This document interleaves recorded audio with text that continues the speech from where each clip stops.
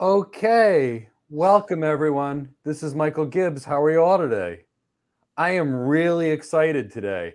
I am here with my really good friend, Andrea Icaza. Andrea is someone I know now for over 20 years. Andrea is one of those people that if there's a bomb that hits and you have 10 people to bring with you that you want to know that you can count on, Andrea is one of those people. So I'm really, really excited to have Andrea here today.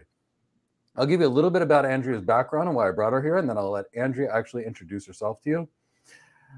I have known Andrea for 20 some years. I see, I've seen her direct a team of systems engineers. I've seen her run a large TAC. I've seen her run projects that are so big and so complex, doing things that no one's ever done before and still do it successfully. And I've seen her do customer success. In fact, I met Andrea about 20 some years ago. We were working at a company called Riverstone Networks, which, as far as I can tell, was one of the best and most fun tech companies in the world. We did all kinds of things. We were partial creators of the VPLS, you know, that first cloud 20 some years ago, basically bridging layer two traffic over MPLS. That was her cloud experience over 20 years ago, as well as some of mine.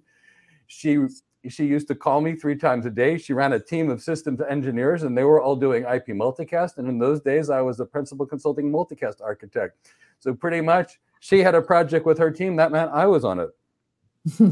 she ran the TAC. If there was something that didn't work with regards to multicast, because we were doing video over DSL and all kinds of technologies that weren't ready for prime time, but super excited, it would be Andrea that would be calling me. And I got to work with her and her team and let me tell you, it is an exceptionally it was an exceptionally good experience, and I'm thrilled to call her a friend and it's someone I have the biggest trust in in the world. So, I brought her here today to talk about global program management. See, a lot of you guys come to me for architecture or building your tech careers, and you know I love that.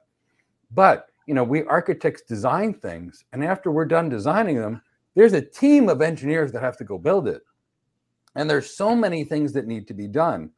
There's so much to be able to manage people that don't work for you, be able to get the resources from people that don't work for you, getting people to do their jobs when you can't fire them because they don't work for you, being able to satisfy a customer. And Andrea is good at it all. And because of that, and because architects have to have some program management skills, because on small projects, we maybe do it ourselves. And on those $100 million or billion dollar projects, it's going to be someone like Andrea that actually leads it. So there's lots of communication skills, lots of executive presence, requirements for integrity and relationship development. And that's one of the reasons I am so lucky to have Andrea here and call her a friend. So we all know me. I'm a cloud architect. We all know me. I'm a network architect, a security architect, and the CEO of Go Cloud Architects. And I'd like to turn this over to you, Andrea, to have you introduce yourself the way you see yourself as opposed to the way I see you. okay. Well, thank you, Mike. It's great to be here. Um, I'd like to take credit for all those wonderful things. Um, so uh, I have been working in the industry and um, for a number of years. I don't like to get into the numbers, but um, Mike has been one of those special resources. I'm sure you all know uh, that when he knows it, he's going to go above and beyond and make sure that the thing is successful that you're working on. So it, it's a really good lead in to one of the key principles, the key characteristics of what you need in uh, customer success, a program management, or any job, I would say, knowing who your resources are, knowing where the good people are. It's so important. And uh, being humble enough to know, you know, uh, for someone like me, I'm not hands-on technical, but I I know when I know how people respond to the people who are good right? So my team is going to respond. The way they responded to Mike was, oh my gosh, that was so good. That was so helpful immediately. And Mike saw this problem. Customers mentioned his name. So right away you start, okay, I've got several data points telling me Mike Gibbs has got the answers for this. I need to make him happy and engage him as often as I can without burning him out, right? So it's a key principle of uh, building a strong team, especially one where Mike didn't work for me, um, but I worked with him and, and tried to get his expertise as much as possible on the projects I'm working on. So, anyways, it's nice to be with you all. Thank you for that wonderful uh, introduction, Mike. And thank you as well. So, you know, that's something really important.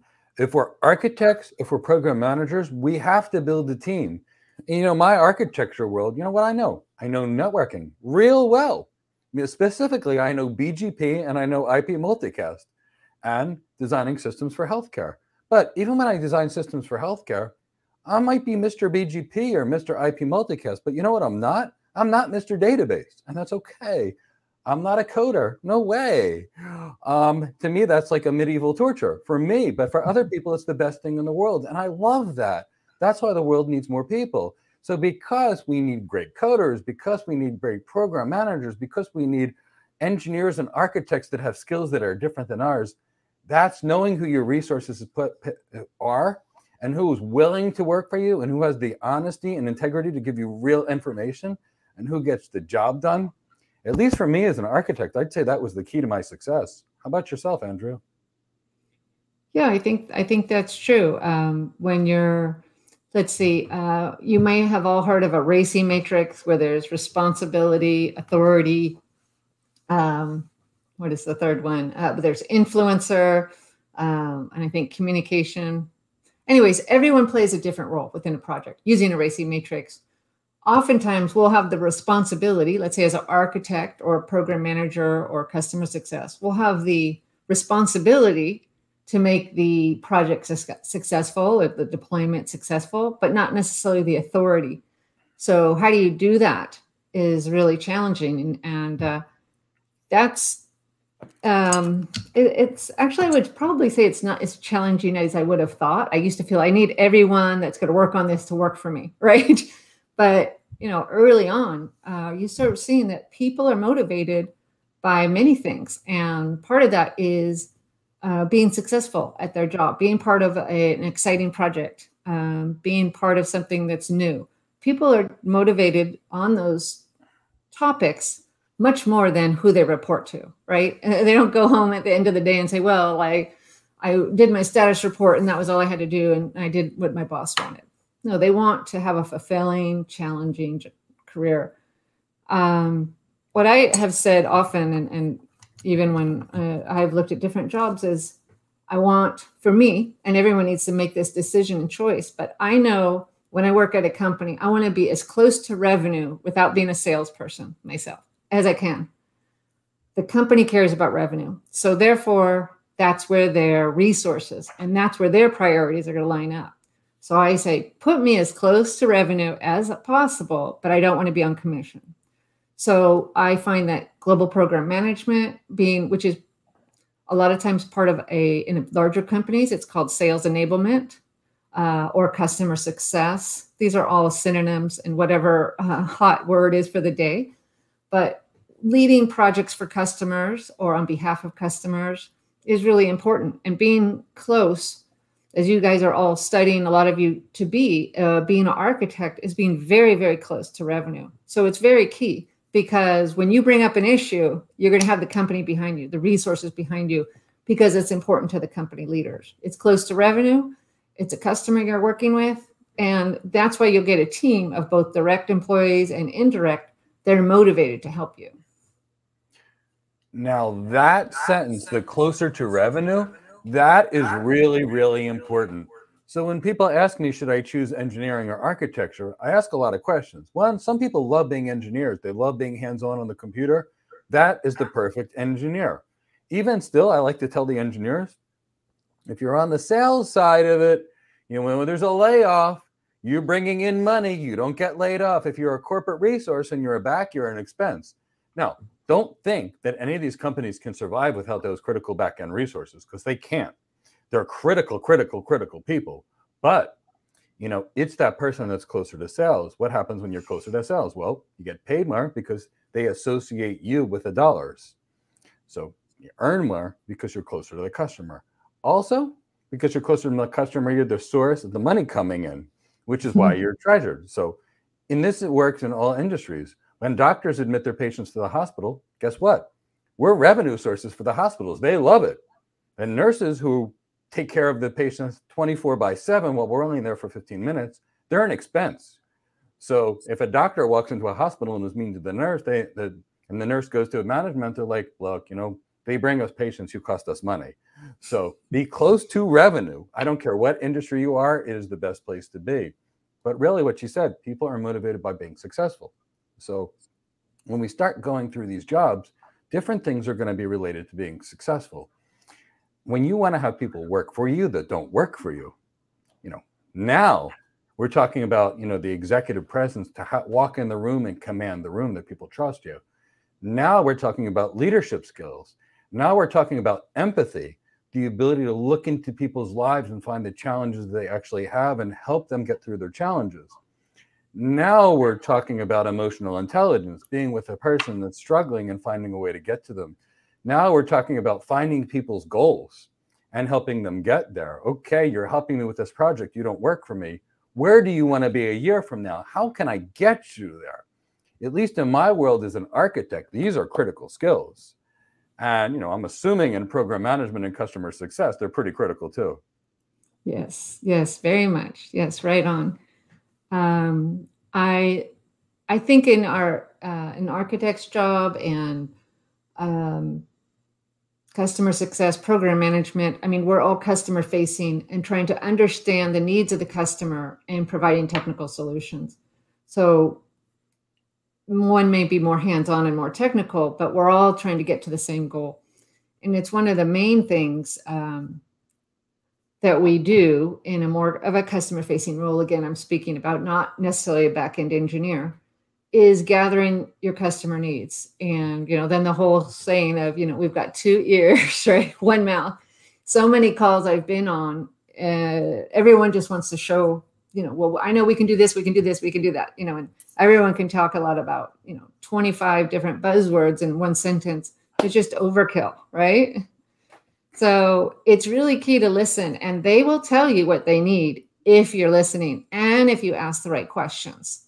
So they're not going to get on the phone with you or have a meeting with you unless they made that decision already. Now it's your job to make the most of it and to ask good questions.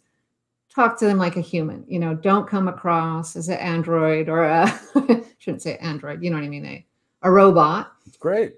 And uh, really get to know them. And and you don't want to come off with your what are your uh, technical challenges today? You know, you don't want to come off like you're reading a list of questions, but really, um, and Mike, I know you've talked about this in some of your other videos where you mirror the customer's tone.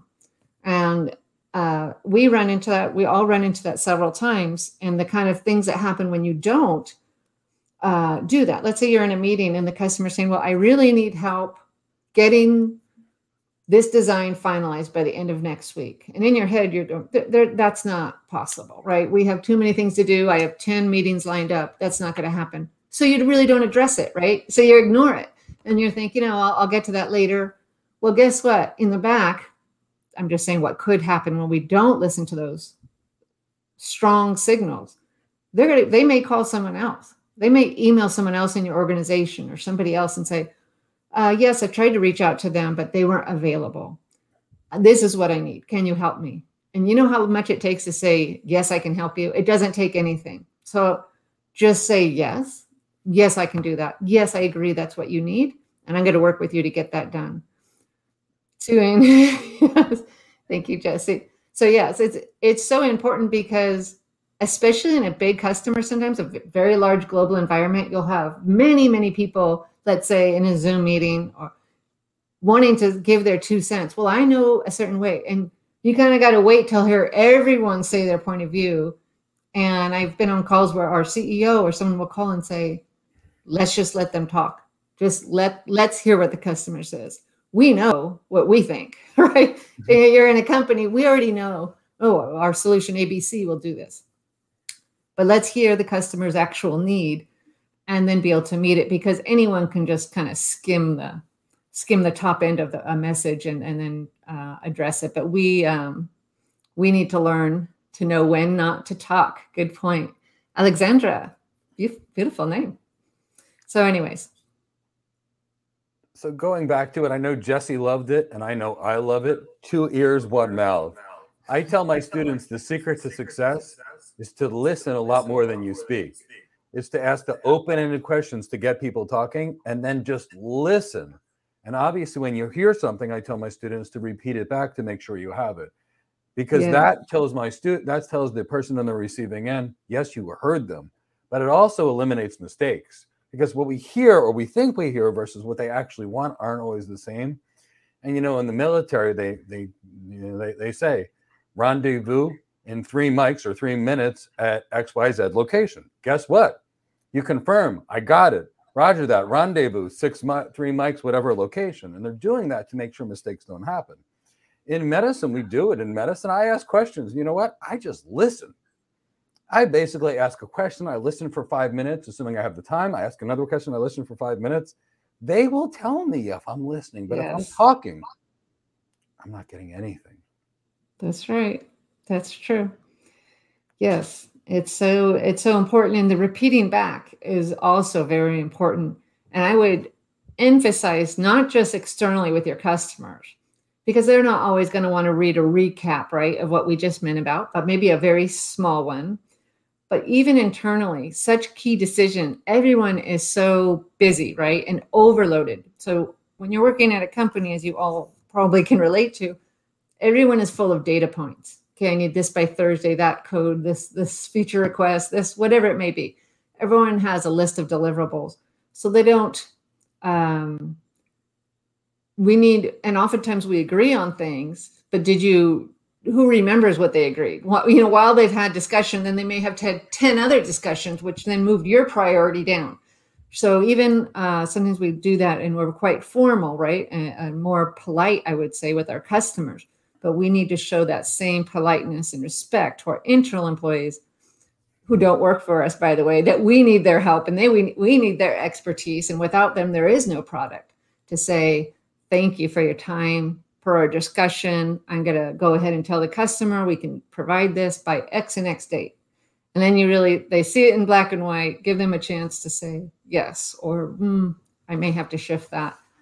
And that respect for your internal colleagues is, is, so important and what we talked about before and enlisting people who don't work for you to want to help and to help want to help work with you and building that charitable goodwill that uh, maybe you know we let's just take back 20 years ago and mike would help solve this incredibly difficult problem we were made sure to say oh my you know not because we had to but to express how much we appreciated Mike and the value he brought to a particular deal, that we won a deal because of its expertise. Now, maybe next time we ask him, he's going to say, Hey, they don't take me for granted, right? So he may be more willing to help us versus someone else who's just, you know, not maybe not aware of how much time it takes to help someone. And what were you flying all across the world for us? I so, did. And, hmm. uh, you know, there's the other side of that coin so it's the it's the respect and the trust that you get from the person on the other side, but it's one other factor. I basically, you know, I was an architect, so you know, here I am, you know, designing systems, presenting them, and selling them. And as it turned out, I happened to have some really strong engineering background in multicast. So while I was an architect, I ended up doing a little bit of engineering to help the company out. So here's what I will say: I was everywhere. I mean, and the kind of places that I went, you know, it had been one point um, there when I just joined. There had been a massive layoff, and some people had bought some products that weren't working. And my manager Joe, who was a great guy from the Marine Corps, and Andrea, who ran a different side, they're like, "Mike, can you go fix this stuff?" And I did. And I went to one place, it was great. The next place, it was great. The next place, it was great. The next place, somebody picked up a shotgun and pointed it at me. And I remember calling Andrea saying, Andrea, just to let you know, I'm going to leave. By the way, could you call my manager and tell him I'm leaving and I'll call him after you speak to him? So my manager was like an E7 in the Marine Corps. He was a really, really good guy. And I like him a lot. He's a friend. I trust him a lot. I won't say anything but great things about my manager. He still is a good guy. Yeah. He's still a good guy. But, you know, he wasn't known to be soft. He just left his 12 year stint in the Marine Corps. So I trusted that Andrea would call my manager and say, you know, Mike just left. Um, apparently, you know, a shotgun was pointed at him. He doesn't love guns pointed at him. He's not strange to this because it happened a lot when he was a paramedic. He's a martial arts guy. But, you know, Mike left. So Mike will give you a call when he feels ready because um, it's my customer. He let me know first. And just take it easy on Mike. Having that air cover, knowing I had someone that would support me no matter how bad things were, enabled me to basically say, wow, I trust this person. They're honest. They have integrity. Guess what? If they put me in a bad position, I'm not afraid because I know they're there for me. So when I got sent to parts of the world that you know people would be afraid to go to, where I actually had a great time, but it was like, okay, I know I'm jumping on this plane. If something bad happens, there's someone that's going to get me out of here, and that is really critical. Yes, that's so true. And I think we can all relate to that with COVID, right? I mean, we I talked to colleagues in India and their family was you know in dire straits and you know they were there's one person we were scheduling a meeting and they said well i'm feeling you know i'm getting the chills. I have a fever. I mean all the signs of covid. And this was i think in yeah early this year. But i'm going to come in and make that meeting that that you requested with this customer because it's an important customer. And it's like no no no no. Though i you know they knew that was better but making sure we respect the person and their contributions but the person as a whole. I mean mike being at a place with a, a gun that's you know it's priority one. It's it's there's nothing else that matters. Your health comes into jeopardy. There's nothing else that matters. And everyone feels that way but some people are not as probably well versed maybe in in showing it that we care about people. Yes trust trust. First and foremost you've got to trust that this person isn't going to say just yeah come into come in and let's have that meeting. And uh, regardless you may have covid but hey let's give it a shot. So we need to to respect people trust coordinator coordination and communication absolutely that's so true yeah Alonzo actually has got good, strong program management roles too, which I'm Oh. going to get him involved in in a minute. Alonzo is also a good friend. He's also a fantastic cloud architect. So, you know, it's kind of interesting. Here's the level of that trust. I remember I had interviewed with Cisco one day, and then they said, Hey, can you come back tomorrow and interview with these five people and deliver a presentation? And I left that interview. I went straight to the airport. I was on the way to Dubai. And I remember I get a call from Andrea Mike, you're going to Cisco. Now, I Oh, just yeah. finished that meeting an hour ago. And I literally went straight from this interview to the airport, and I'm getting this phone call. And I remember thinking, um, and she's like, I heard you're going to Cisco. I'm like, Andrea, how'd you know? I haven't told anybody. I haven't even told my wife yet. And she says, Oh, wait, that's another Mike. And I remember thinking, I'm going to be on going to Dubai. It's going to be a $20,000 trip. The last thing I need is my manager to think that I'm not going to be there when I get back. You know, it's going to be a big expense on my credit card. You know, what happens if I'm over there and something goes wrong? Look, I had the best experiences of my life in Dubai. I was treated like royalty. I loved it. But, you know, I saw the great truth of everything, CNN, which made me think I was going to get stoned to death out there because, you know, you watch CNN and it made it look scary and dangerous. It was the best place I've ever been to. So that's neither here nor there. I'm just saying, you know, when you're going over to these places, you've got to have people you trust in the background. Anytime it's a long trip, I don't care if you go to the middle of the desert, you want to know that there's somebody there that's going to be there for you. You need Yeah. that air cover. Yes. Establish a, a group, even if it's one person, one person, and then build it only those people you trust and can really talk with. You know, I, I think that's important to keep your sanity at any job, to vent with if needed, and just to to make sure that they've got your back, right? That's all about that's what that's about. You know, we need someone that has your back when you're not there. So I think that's that's key for all of us. Good It point, Mike. It's just so essential. So I'm going to ask you the question What is program management? Okay, good question. So I would say, uh, and I should remind you, as I said at the beginning, it goes by a lot of names, right? Yes. Uh, there's project management, there's the PMP, there's um, project supervision, there's professional services project managers. And what I have done in my career has mainly been um, what I would classify as program management, where they're large initiatives, right? I'm not directing a task, so I'm not responsible. Okay, roll out this telecommunications server and make sure that the all the steps are followed. So I'm not writing test plans and making sure they're followed. I do, however, establish goals uh, for whatever initiative I'm working on. Identify the stakeholders, uh, identify the milestones, the schedule, my resources, my risks and how I'm going to mitigate those risks. And then everyone's going to say that's an overused word, but it's very true relationship management. You know, who at that customer where can I get the where can I develop and maintain a strong relationship? And you know, sometimes the higher in the uh, ladder you go, the better because they have decision making power. But I don't want to say that's the only that's the only way it matters because you could have a good, basically just a great engineer, and that happens a lot where they have so much influence because everyone knows if they agree, then it's good. And so it, the title matters to some degree, and you'll see that a lot at companies, but it is very important to not just have the formal decision makers, but the informal decision makers, the thought leaders, right, at a company where let's say multicast for Mike, right? Maybe he wasn't the the head of engineering multicast, but it was important in the field. If Mike agrees with that, probably the rest of the field is going to all you know, sales is going to agree with that because they know he's seen all of all of our customers. So program management is taking all of those goals, all of those milestones, and being ideally this not a single point of contact, but a central point of contact to manage that ecosystem, right? And then man- feed that back into your corporation where you work in a synthesized manner to give them uh, the customer needs. Here's the customer goals. Here's what they want to do. And not to inject your own personal opinions, right? But just the just the facts, right? Just the facts, Jack, whatever. so just state it what it is. Don't add any opinion.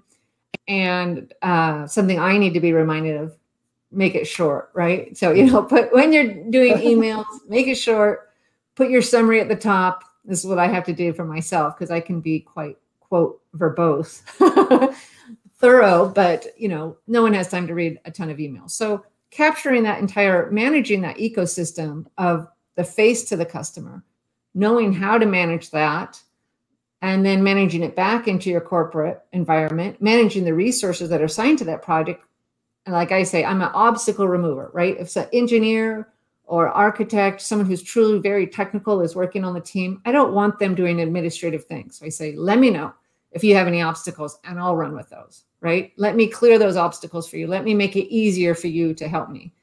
So I would say it's bundling all of that and making sure you're aligned again with what are the you ask the customer what their goals are and then we also need to check that with what are the goals of our company for this engagement they're typically going to be whatever the customer says they are right so I don't think that's a big disconnect, but you do want to make sure that maybe we want them to test a certain code or feature or something like that. You do want to make sure that you're always keeping in mind and have top of mind those goals, those overarching goals that are the most important and stay close to the get stay close to that and don't get lost in the details.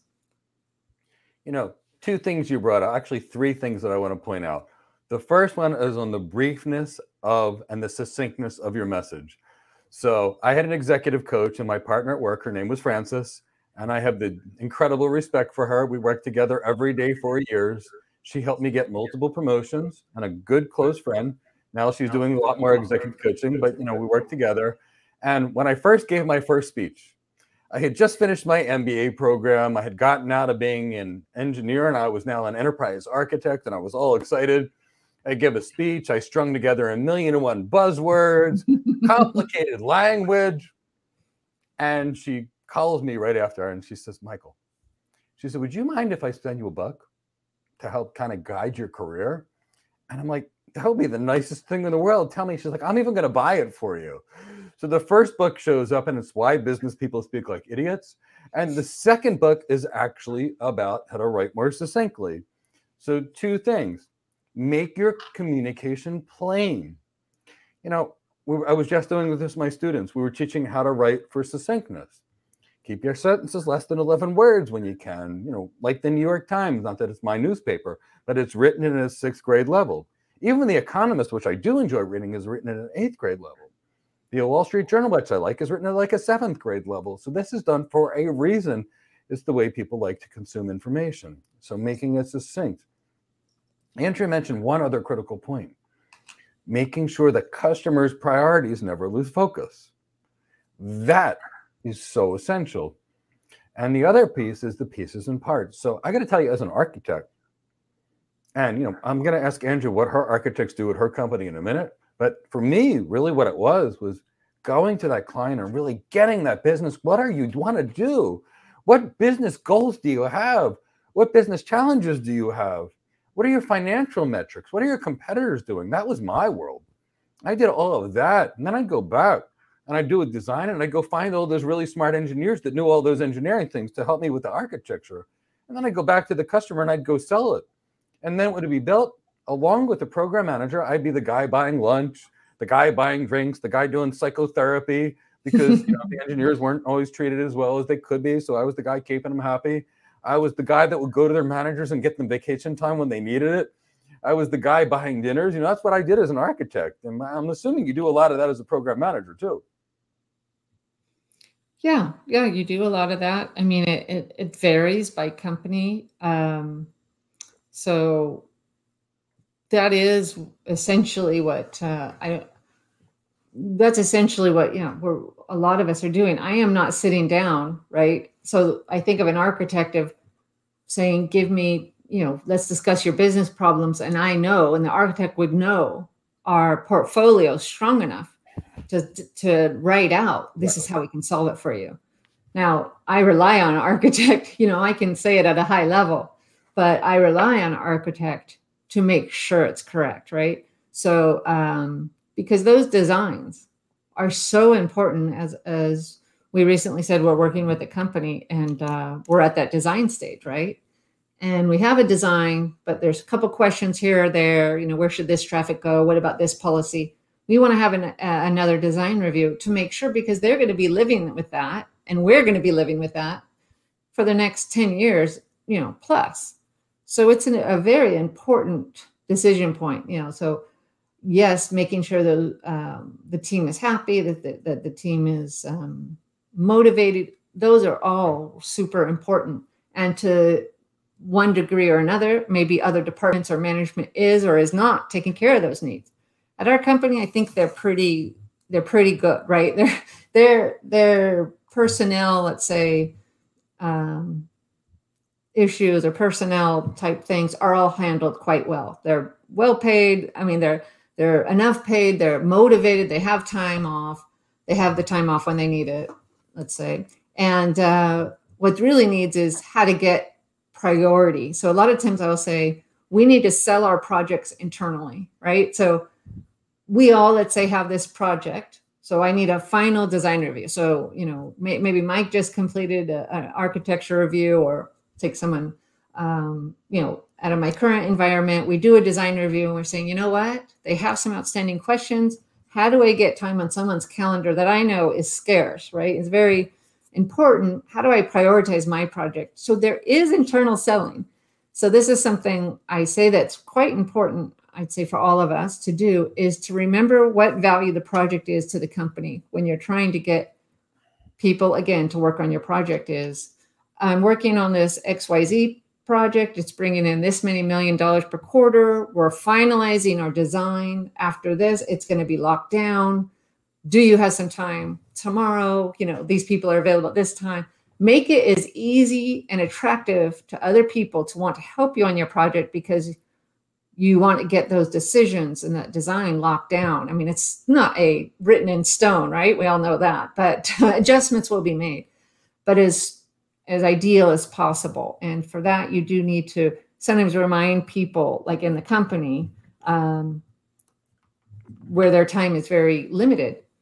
Here's why this project is important. Here's why it's worth your time to take this meeting. So I think that's important in all we do. Not that you need to continue to sound like a salesperson to everyone in your, you know, we're all the same company, but you know, it's kind of reminding them the importance of your project. You know, you touched on another point for the architects like me, sales skills are critical. But I would say for technology professionals in general, or anybody, sales skills are critical because you got to get people to want to do it. I remember the Tom Sawyer movie that I watched when I was younger because I wouldn't read. I read like two nonfiction books a week, but I've never read a novel in my life. I managed to watch the movies in high school because I just I don't read nonfiction, but I read a couple books a week for knowledge. And in Tom Sawyer, when I think it was the book Tom Sawyer, he has his friends come over to go paint the fence. I think they called it whitewashing, and they're all painting the fence white. And he convinces all his friends it's going to be a fun party day, and they all do it together. Right. That's part of the job. Yes. somebody asked, and I, I I get this question every day. It's the most crazy question I see, but somebody asked it, so I'm going to bring it up. The world has now convinced people with these stupid job descriptions because you know how there's great inflation, like everybody now gets an A in school, and the people that work at Subway are now called sandwich architects. And now all these people are thinking that they're program. You need to be a programmer to be an architect. That you're going to be coding things, and you're going to be behind a computer coding things all day long. What do the architects do at your company?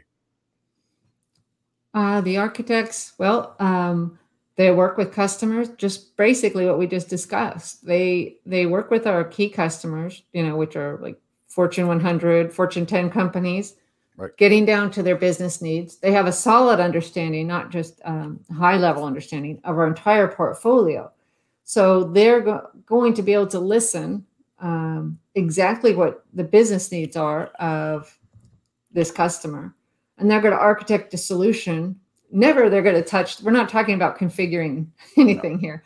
So we're just talking what products and solution will meet your needs. Okay. This is, and based on their understanding, which is strong, but it's, uh, they're going to put something together. Then, as you mentioned, you're going to fly back home or, you know, whatever. Now you're going to get off your Zoom call and start an internal Zoom call and ask some back end, you know, corporate engineers, perhaps, um, this is what I propose. Can you tell me, are there any holes in what I did? Right?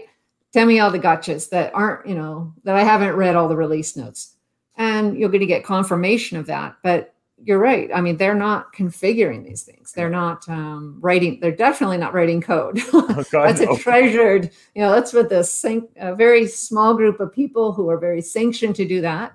And uh, no, that's not open for people. So, I mean, I think it's always important to be. You know, I think everybody's open to good ideas, but uh, engineers code, architects solve problems, build networks, and then uh, need to do the checks and balances, need to do the Q and A, and make sure that the design that they built is truly going to work. Because we're past the sales stage, right? Yep. They've yep. bought our product. So, but now what we promised we said we're going to do, we really need to do it. So they do need to do the due diligence on making sure we're going to follow through and we're going to deliver because a program manager, customer success, and architect will be held accountable. I have, I'm sure you've been on projects, Mike, and many of you in the call where you're on project saying, Hey, I remember during the sales pitch, you told us it would do XYZ, you know, so it's it's we're part of the solution. We need to make true on our promises, including the architect, right? Absolutely. In fact, I remember architecting designs that we promised things that we didn't even have for a year. And we couldn't even recognize the revenue or take in the sale of the money that we put in. We had to keep it in a separate escrow account until we were able to deliver what we committed to the customer because otherwise you had to give the money back because you weren't honoring your commitment. So definitely, definitely, definitely. If you commit to doing something, you do it. You deliver yeah. it with excellence, you deliver it with honor. And if something's broken, you fix it fast. Mm-hmm. And when mm-hmm. something breaks and you fix it fast and the customer knows you're out there, boy, they become a loyal customer. Yes. Yes, where I'm at now at Versa, it's Versa Networks, it's really one of our it's really helped us succeed. And you know some of the engineering um, management we have and the responsiveness to customers, they're blown away. They're like, what? You know, they were prepared for us to give them a target date of, you know, a couple months, several months. And we turn it around so quickly, and there's literally per- people working around the clock. And because they value that customer's business so much, and you're not going to maybe, I don't want to um, say anything that's not positive about another company, but that may not happen at all companies. Let's just be sure. honest, right? You're going to be with some of the big boys that are going to say, okay, we got that logged. Thank you. you know, you'll hear from our TAC in 12 to 7, 12 to 24 days. This is a priority blank. And, but uh, so it's very good. Uh, but even if you're at a big company that this process moves, it's important for you as an individual to, um, to communicate well and com- communicate often and keep people so plugged it's a great in. question. I think I'll answer Chin Lim's question and we'll go back to this. So yeah. Chin, a product manager is someone that manages the release of a product. So maybe you're in charge of say the next video conferencing device, or maybe you're responsible for the new VPN, or maybe you're responsible for a new routing for a new router. I, so that's what a program, a product manager does. I kind of did a lot of these. I wrote a lot of product requirements, definitions related to multicast on routers and switches. So the product manager is the person that owns the release of the product from start one to start two. At least the product managers that I've worked with. How about yourself, Andrea?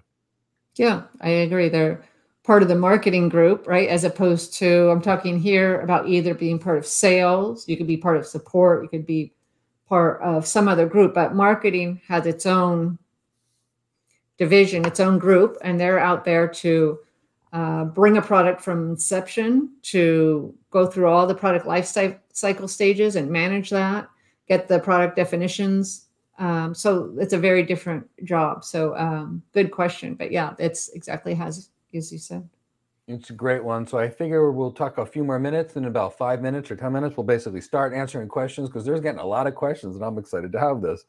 One thing that I'll, I'll ask you and I'll, I'll answer it as well. Um, what kind of major lessons have you learned in the years we've been doing this? yeah, that's uh, that's a good question. Let's see, major lessons. I would say I kind of woven them into my uh, talking points so far. I think treating people with respect um, is a major lesson that sometimes for me, I can get very focused on the job, right? It's the results that matter, you know, and, you know, well, you're not here. Okay, I don't want to hear from you anymore. You can't deliver, you know, and just being too, you know, we used to say being results oriented was a positive thing on a resume. I probably still have it on there, but now it's kind of, okay, let's look at this a little more ho- holistically. Results do matter, but it's not any which way you can. You don't want to tear down everyone in front of you or in back of you to get where you need to be. So, learning that respect um, and treating others like, uh, you know, I don't want to say a simple saying, but treating others the way you would want to be treated. I mean, small example the other day, uh, we use, as everyone uses, instant messaging and I was needing help, and I thought I was talking to this offshore support desk. And the way I was talking to them, I was comfortable, right? But I was like, um, they were talking back, and I'm like, did they read my question? You know, I'm like, did you write? And I wrote, did you read what I just wrote? So then he answers. Anyways, long story short, we go back and forth, and I realize it's like the head of our QA. and I did the total, oh, it's you. Oh my God. right? It's that, would I have talked to him that way if I knew who he was? And that was terrible. I felt terrible, right? That I was, oh, well, I thought it was such and such. Therefore, I was talking to him in a different way.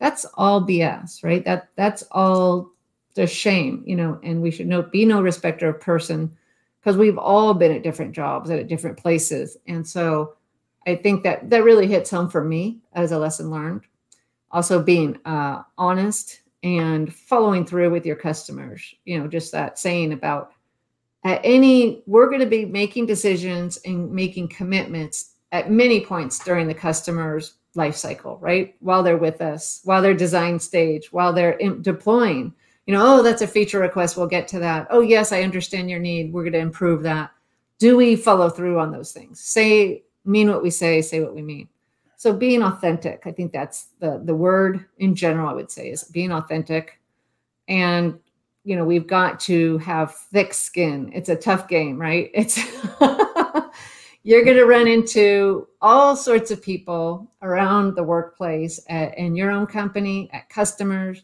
That you know, as a vendor, they're going to if you're with a vendor, they're going to they're going to have certain uh, you know a mindset about you and so sometimes that's nice sometimes it's really positive and they treat you as an individual or sometimes they view you as just the vendor you know how many times have we been told um, you're going to need to earn our trust right it's yeah. like okay so it's like all these relationships you've done it over and over and you have to keep proving yourself so all, all of those things i think and you know i'm going to add to that sometimes the best way to develop a relationship is be just so honest, and even if it's not something you want to say.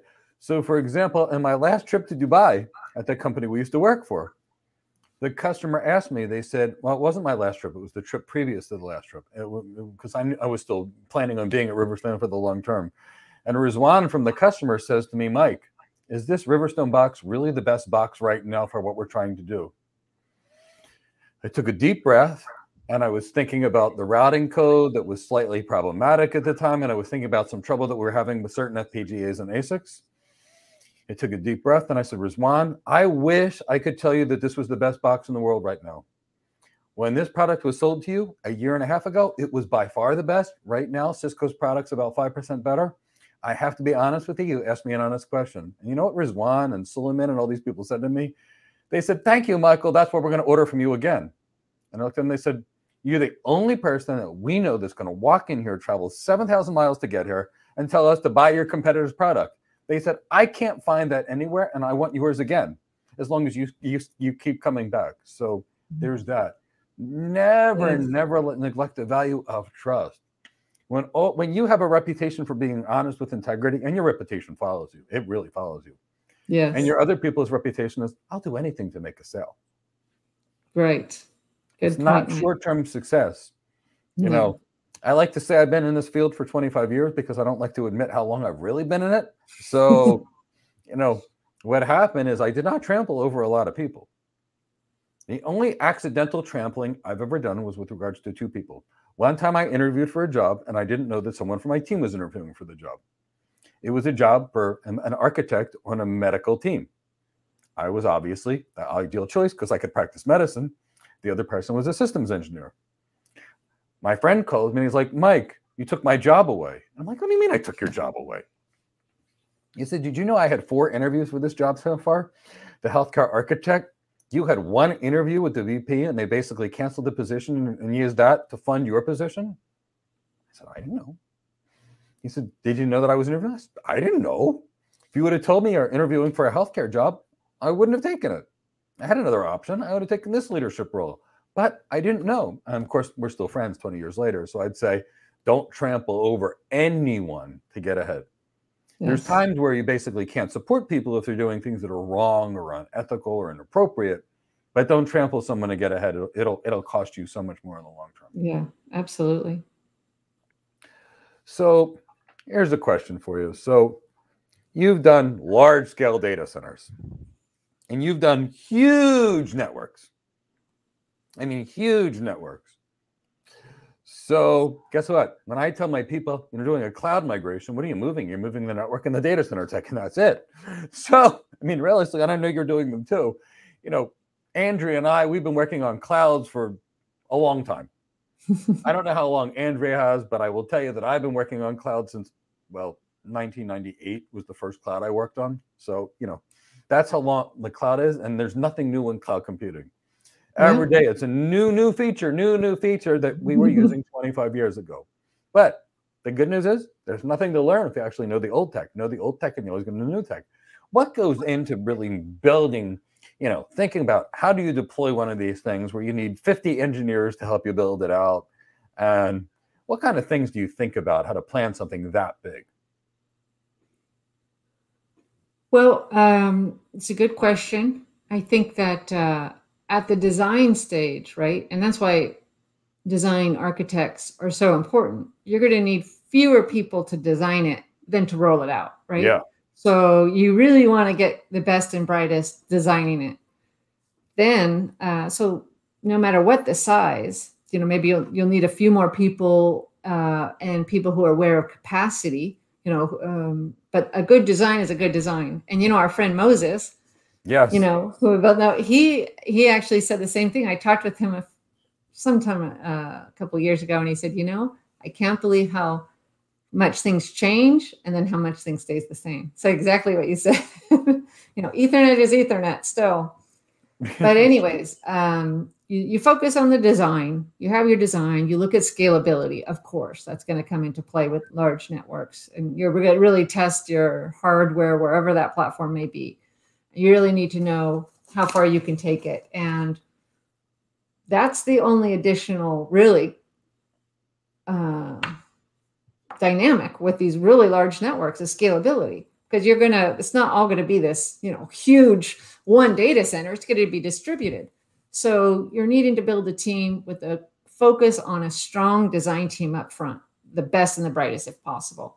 Then you're looking at implementation and that's where you really need to work out the logistics and where you would get someone like a um, you know network engineers hopefully you'd have an architect they would stay on that role because let's face it you know we sometimes run into things that weren't taken into account and the, the design may need to be adjusted if necessary.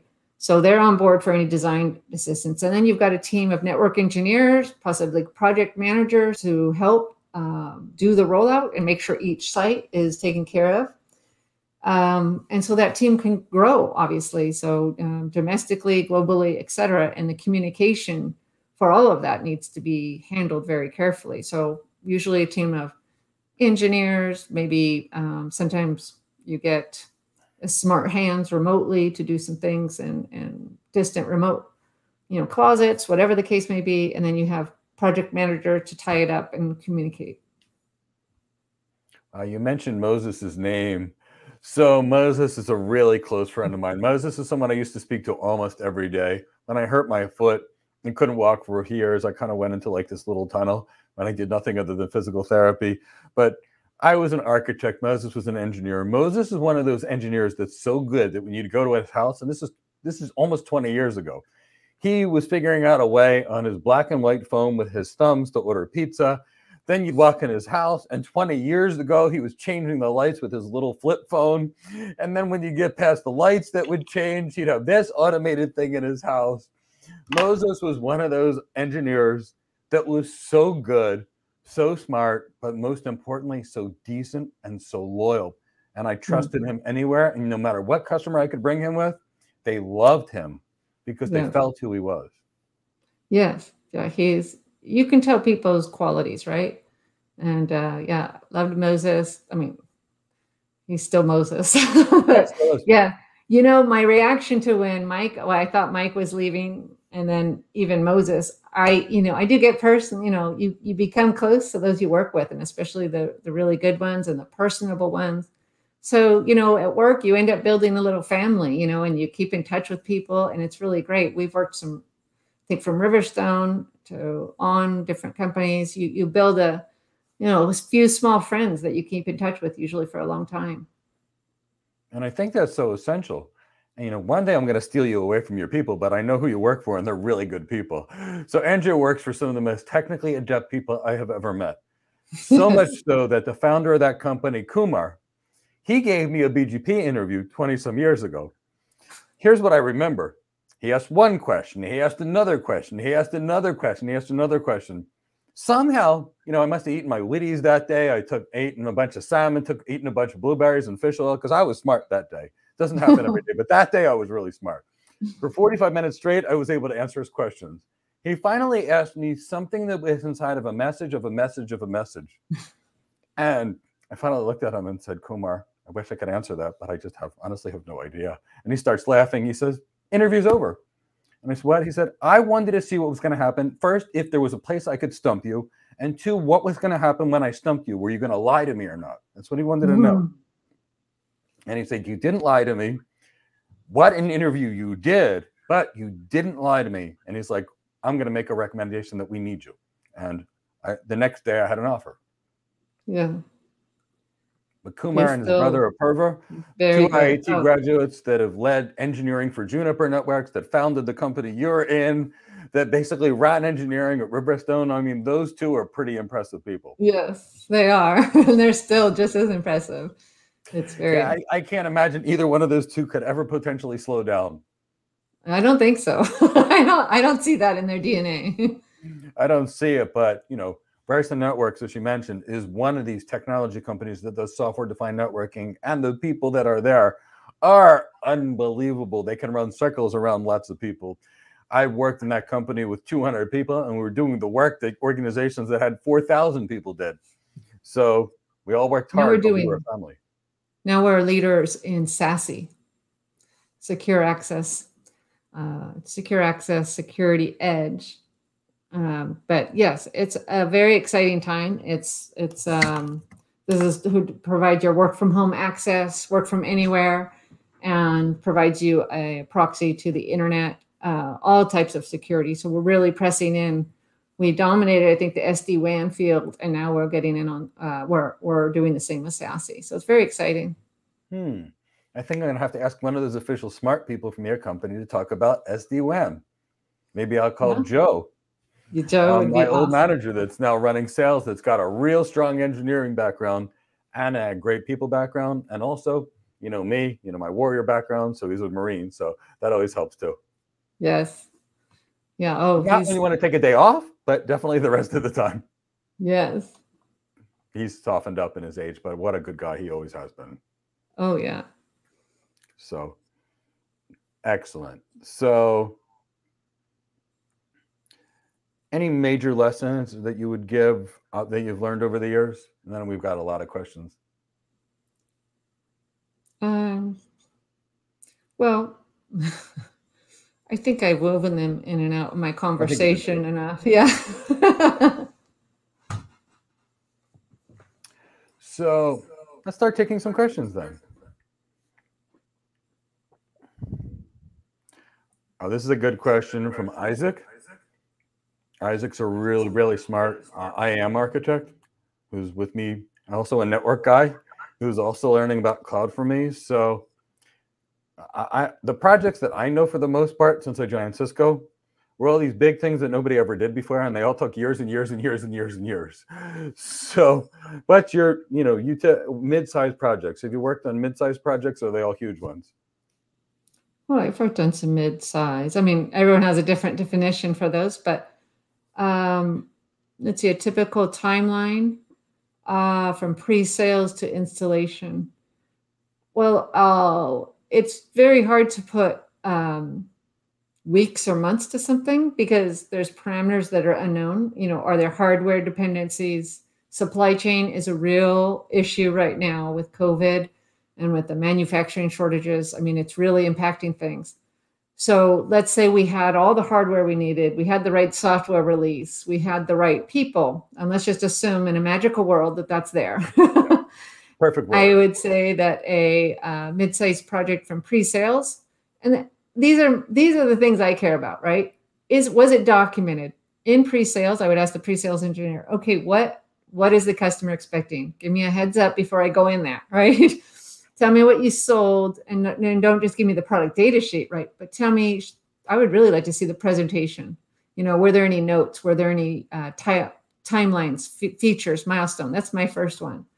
So make sure those are manageable. And then um, once, let's say again in our magical world that it all is, and we work and assemble a team, um, either you know in-house or you're using. Uh, hopefully, you know you have your company may have a professional services team. Our company has a really strong one, so we would fill out a. Uh, we'd work on a scope of work with our professional services manager make sure the customer agrees to it, exchange what needs to be exchanged to get that going, and then uh, hold the kickoff meeting. So there, there's these are the times where you would want uh, the role I was talking about, like a day-to-day project manager. Uh, now, if it was mid-size, you may not have one, right? So it just depends. But even sometimes there'll be internal resources to do that, uh, and just to make sure your your projects go quickly. So um, mid-sized project, I don't know um, what your definition of that is, but maybe we say 12 sites. Um, and so it's not, you know, a one or two sider, but it's not 3,000 sites. So 12 sites, you know, we do the design um, and then we're ready for installation. It's assuming it's pretty cookie cutter. It can be done in a matter of, of months, I would say, you know, short number of months. But those are the factors that you would look into. And it's a great question and it's a great answer. Obviously, for these 3,000 sites, we're not doing it in a matter of months. Right. Obviously, we're not doing billion dollar designs in a matter of months. It's a matter of years.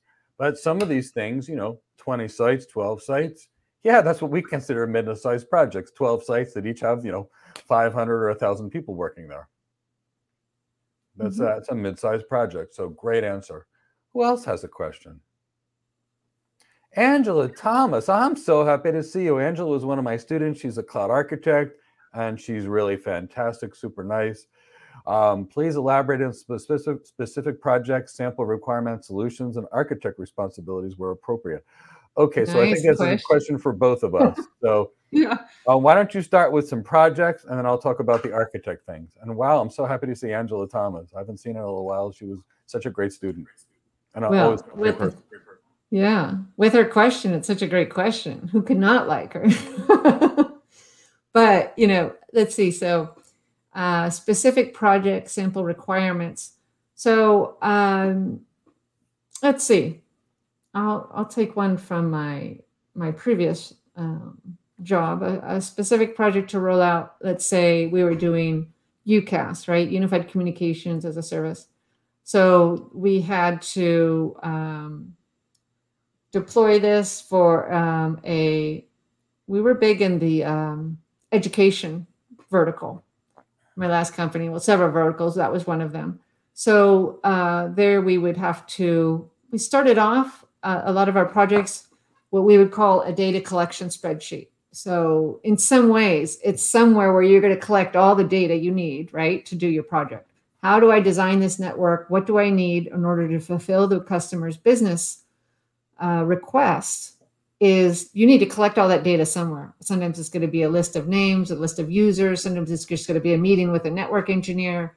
It's all going to depend um, as we get to more more consumer type software or consumer, a little bit consumer, or employees working from home, employees um, using instant unified messaging from their work, the more and more data is needed. So uh, to customize that solution. So there's experts just on data collection, you know, who can do the best data collection spreadsheet, the best template, et cetera.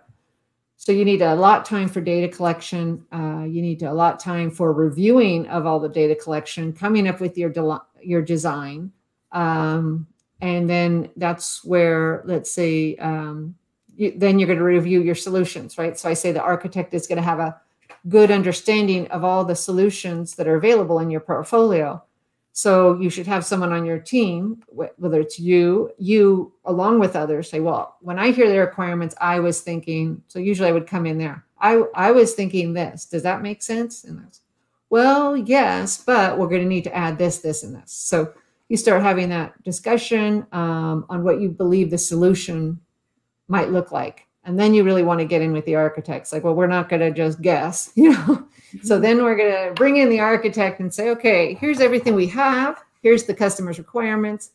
Here's everything we know. And then you want to give it over to your architect. So I'll leave with you, Mike. Okay, so then it comes over to us. And then we start evaluating what we think we see. And then, of course, we've got questions. The first thing we're going to do is go back to the sales engineers that came up with this idea and say, what is it? And then we're going to say, how does it work? We're going to look through that documentation. We're going to ask that. Then we're going to get really careful with them and the sales reps and figure out what they promised the customer, assuming this was engineer design and not architecture design. Then we're going to take a step back. Then I'm going to go to all the smartest corporate resources that I know, the people that are focused on one person that's the multicast person, for example, assuming that wasn't me. I'm going to go to the security person. I'm going to go to the network person. I'm going to go to the software development person in the team. I'm going to go to the management or operations person in my team. I'm going to ask all of them well, this is the design. I would do it this way. Will this work? Will this be the, a way you can automate it? Will this enable management? Will to manage it efficiently? Will this enable this? So I'm going to go back to that team. I'm going to go back and design it, or fix, I fix the design. Hopefully, I don't have to, but if necessary, fix the design.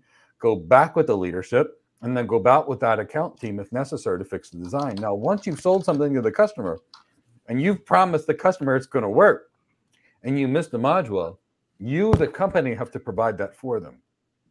You can't say, sorry, this contract that you signed that we promised you is going to work. Oh, we missed this. Give me these 10 routers and these 10 people. It's going to be another $20 million. No, no, no.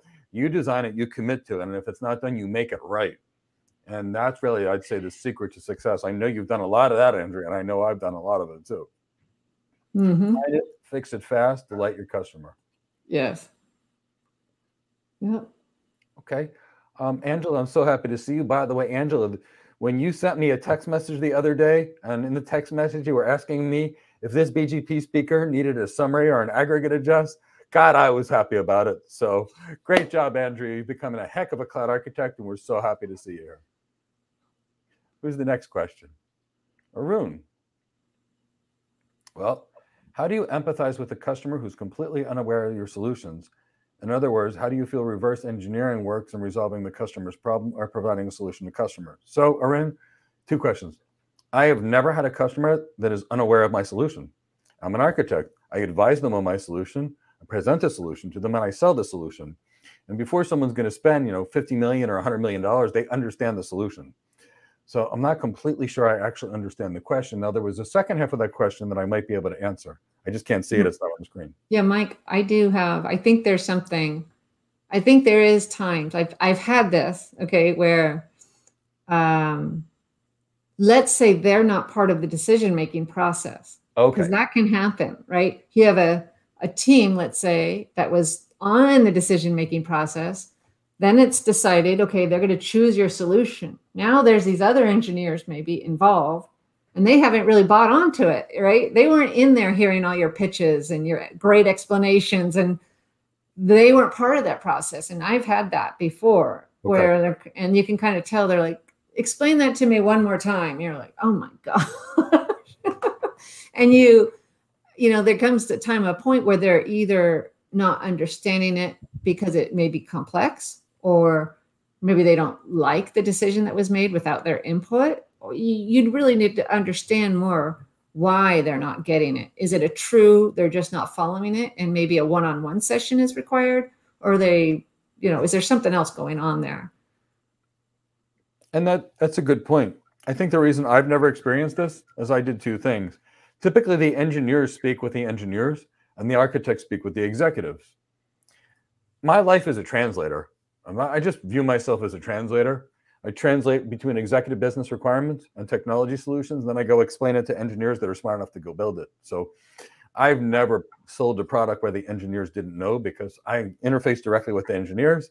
And the next day I'd be in front of the CEO and then I'd be translating it back to the engineers. So I never really had like a pure generic role. I always had these amorphous roles that I, you know, I never even knew what they were. They were all architecture, but they could have been a little bit anything. They could have been they were all they were all over the place. I guess that's the way I could describe it. Yeah, well, it's, I think uh, I think that's a good point, and that's ideal. But sometimes, sometimes you do run into a situation where not everyone's been involved in the decision or seen everything that you expect. They haven't read all your stuff, right? I, I just had that just, and uh, sometimes you know it's a one-on-one session if you're willing to give free training. Sometimes. I've offered training classes. You know, I try and get them comped so they don't have to pay for them, but you know, if you need to bring someone up to speed and you really need them on your team, you kind of want to go all out, right? If you need them on your team, or if you're saying, you know what, you're not part of, you're, you know, maybe you're you're kind of dragging. I'm going to try and help you. And if you really want to learn this, if you offer them training, if, if it need be, and, and discount it if not free, then you'll see if they really want to learn it, right? Because if they never take that training, boy, that says a lot, you know. Sure does. That's a great point. Did we answer his question? Paul S. You oh. wanted to apply for a solution architect position, but you're not feeling confident. How can I help? Well, I'll actually answer this one because I actually have a program for this. So, Paul, this is why we have the Cloud Architect Career Development Program. Um, Chris from my team will put a link to it. He will also give you a 20% coupon code. He will put it in the window of, well, I don't know where you're at, whether you're on, on, on LinkedIn or whether you're on YouTube. Chris from my team will take care of that. Now, I will say this the what's covered in the AWS Certified Solution Architect Associate and Professional is the name of a service and how to configure it. So it might say S3, and here's how to set up an S3 bucket. The problem is, is we architects don't configure anything. We go interact with the client. We go ask them, you know, what are you trying to achieve? What are your goals? What do your current systems look like? What are your competitors doing? And then we create a design. And then we sell the design. So we have a program. It's basically if for people in tech, it's 250 hours. For people that have never worked in tech, it's 500 hours, where we teach all of the architecture skills to basically teach you what you need to know, what do you need to know about the network. Because by the way, the cloud is a network and a data center, and you can't do the job without knowledge of the network and the data center. Without knowledge of the network, nothing works. Without knowledge of the data center, you can't move anything to the cloud. Because what do we cloud architects do? We do something called lift and shift. We design a way to go from the data center to the cloud, which is just another data center. That's all it is. That's a data center. Availability zone is a data center, so nothing's changed. So do exactly um, what's but learn the network, learn the data center, learn the communication skills, learn the leadership skills, the ROI modeling skills, the executive presence, emotional intelligence, communication skills, presentation skills, writing for executives, and then you'll be good to go. And that's the way to do it.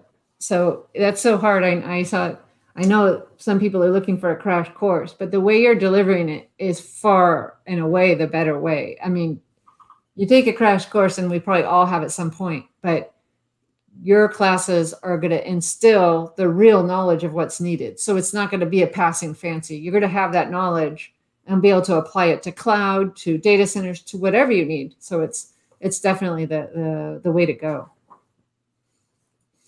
Sounds great. Thank you so much. Okay, Chintan. Oh, wow. You, Chintan, you always have the nicest things to say. I'm so glad you're here. So glad I was able to bring actually Andrea to do this. Why are the job descriptions decided by HR? Huh. Looking for one person who knows everything. well, I have my philosophy on these job descriptions. And to let you know, I've never got a job by knowing what was on the job description. I looked at the job description as like something that HR wrote that was yeah. like, how much stuff can we throw in it so you don't apply? so the people that do apply know everything about everything. And when I interviewed them, they were basically jack of all trades, master of none, and not hireable. Yeah. So I used recruiters to find me people. But how about you, Andrea? What what do you deal with these engineering roles that want you to be a programmer, a sales rep, a project manager, um, an expert on networking, an expert on data centers, an expert on clouds, an expert on security? Yeah, well, I, I agree. I mean, I, first of all, you know, point made, a very well worded question, and, and as well as your response. I think uh, the job descriptions and even hiring managers, I've been guilty of the same. And you know, speaking of Riverstone, I remember writing one when we were building a, a, a tech center in India.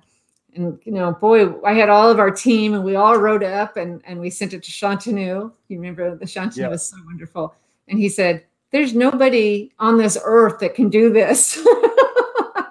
Let it's not in India, and it's none. You know, I couldn't do it, and he's like, you know, star employee. So he was a good check. So we all need those checks. And hopefully if if the company doesn't have them and you see one of these, you know, you must be superwoman, superman to to meet this job need. If you get the interview, I would uh, I would say, you know, somewhere closer to the top of the interview and say, I'm really interested in hearing your perspective of what you need in this position. And maybe that might even be with the recruiter or HR that sends it uh, I did talk to one HR person who was super good, and uh, they they basically were able to tell you know no no it's none of that it's really this. So it's just how much are you willing you know are you willing to spend your time on that? Maybe get a good answer. Sometimes you can get someone who's more realistic. Sometimes you can't. Yeah, because I mean, when I look at them, it's especially for architects, it's crazy. Um, but then again, I don't look at job descriptions. Here's how I create a job description. I'm going to be blunt and honest with this. I am not a job description writer. I am not a paperwork person. I'm either an architect or a leader. And they're really the only two things that I know other than practicing medicine, which well, sort of maybe that's a, that's a hybrid between an architect and a leader, same kind of job. So when I write one, I go to the Zoom or Indeed or one of those other job ZipRecruiter. I cut and paste something. I'm like, none of this is related to what I need. Let me just add the three lines that I need. But boy, this looks remarkably comprehensive this is impressive. My manager's going to be very impressed with what I wrote with. And then I paste it up, and it, it's like 16 different careers. But that's my guilty way of writing a job description. I say, you know, be able to do the main thing that they're asking for and be so good at it, at least my perspective, that they have no choice but to need you. But you know, what are you dealing with with these job descriptions? I know your company is a little smarter about writing them because you actually work for a pure tech company, and they're excellent tech people. Yeah, well, I think they do have the actual, we don't have HR, right? We don't have HR write them, that's for sure. We don't scan for keywords. It's a very strong leadership team, strong management, and they know what they're looking for. So if it, just as you said, it will be, you will just see what what is needed, and and um, I think that's key uh, in roles where I've hired for, et cetera, I've been guilty of kind of putting in the kitchen sink, like, oh, it'd be great if they had this and this, but they're all need, some are needs, and then most of them are, are nice to have. And sometimes I ask it that way if you're in a, a talk with someone and asking them which are really mandatory requirements, you know, because I would, I've applied before where I didn't meet let's say they said something was required, some certificate, and, and I didn't, I didn't have that.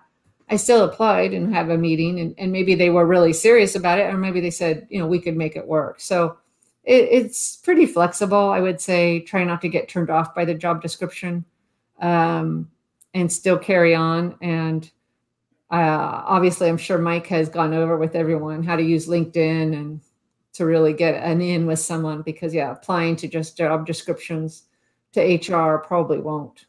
Yeah, I don't use HR for anything. I've got 200 recruiters right now that we're working with for people. But you know, I want the recruiters to get paid the twenty, fifty thousand dollar commission to find somebody a job. I want them working for me because right. they actually are motivated. Not just that, uh, the good ones are in. You deal with some of these really, really good recruiting companies. They have ins with the management. They know the yeah. management. They're like IBM, where they know everybody in the family. They're like me coming from Cisco, where I spent hundred thousand dollars on lunches one year just in order to get close to the customer and really lead a team of engineers. I'm not joking. I'd bring 20 people to lunch every single day that were building a product, a project that I designed. I was there. You got to listen. You got to hear what the customer tells you. So, you know, I go straight to I don't go to HR. I go to the hiring manager. I, I don't no. think I I, actually I don't think I've ever applied to a job through HR in my entire career, except for the hmm. first five jobs, of the first couple of jobs I did before. At the beginning, you have no choice. But I did want to correct something I said. I mentioned that Versa Networks is is a SASE leader, but I think I gave the wrong description. It's Secure Access Service Edge, and I think I said Security Edge. Anyways, I just wanted to correct that. I'm glad you did, and that's you know, that's where I struggle with acronyms because they all mean so many different things. I know. When I first, the reason I tell everybody not to use acronyms, and in this case, you had no choice, but I remember when I first started, it was my first tech job and somebody called me uh, in the middle of the night and they proceeded to say, you know, all these frame relay PVCs are going down. And I picked up on my, I said, start a lidocaine bolus at one and a half milligrams per kilogram at this dosage per minute. And they looked at me and they're like, what, Mike? I said, you just told me they have excessive PVCs. We don't want them to go into V-tach. Give them a lidocaine bolus at one and a half milligrams per kilogram. You thought it was medical. He's like, Mike, what? They're like, for a permanent virtual circuit, I'm like, oh, so sorry. I was thinking you were referring to premature ventricular contractions. You called me at 2.30 in the morning. That's what I was thinking. So, you know, that's the danger of acronyms. It's true. But, you know, you have a very specific acronym. You're also from one of the most technical companies I've ever met. There are some companies where they've got exceptionally good business people and good technology people. And there are some companies that are just pure, pure, pure engineering based where the people there can solve world hunger engineering wise, but that's their focus is engineering, engineering, engineering. And Andrea is working at one of those really, really, really strong, hardcore engineering cultures. It is. Actually, our CEO is from Cisco. He ran the service provider business for many okay. years, Kelly Ahuja. So he's very strong. Okay, yes, yes, yes. okay. Anyway. And, and Apurva and Kumar who founded the company that both ran engineering for Juniper Networks, are yeah. pretty capable guys too. Pretty capable. That's exciting. Very exciting. Chris, okay.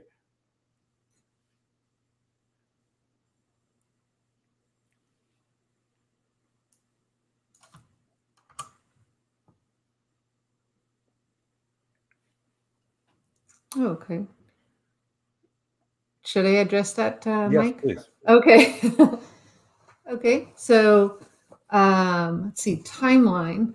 uh, anyway, um, I may you need to, to use the timeline. Again. What? You don't have to use anything that makes you uncomfortable, like time. so uh, let's see. I started off actually. It's uh, I. I started off. I worked at Honeywell, the very start of my career. That's a huge company, right? And uh, no timeline. Okay, good. Okay, started off at Honeywell, and this is just you know the good fortune. So I was, it was around, it was a during a recession. I don't remember which one. It was during a recession. I had graduated college, uh, and uh, you know wasn't looking good, right? So I joined a local company, Honeywell, the local branch, and I was eager, right? I took everything serious, like you know my life depended on. So if I were to look back, as you said, lessons, I'd probably lighten up a little bit. but it also sometimes helped me with my career. But you know, there's pros and cons to that. There's a price. So I was working at Honeywell, and I was just doing anything I could. Oh, let me help you. Let me do this. Right, and just eager beaver, you would call it, whatever. And then uh, there was an opportunity to learn training, networking, right? And so um, they paid for it all, and they're like, "Who wants to do it?" And of course, I'm like, "Me." So So uh, I think they had recognized there that I, I, was eager, and so I did that. And so I learned networking uh, pretty early in my career, and I really it really clicked. And even you know just small stuff, uh, getting the you know getting everyone hooked up with email, getting hooked up with um, uh, network fax. All these things were new to people, and so it was like there was a great immediacy, like a uh, of benefits so I really like that. It's like, oh wow, look what I brought, you know. So it felt good.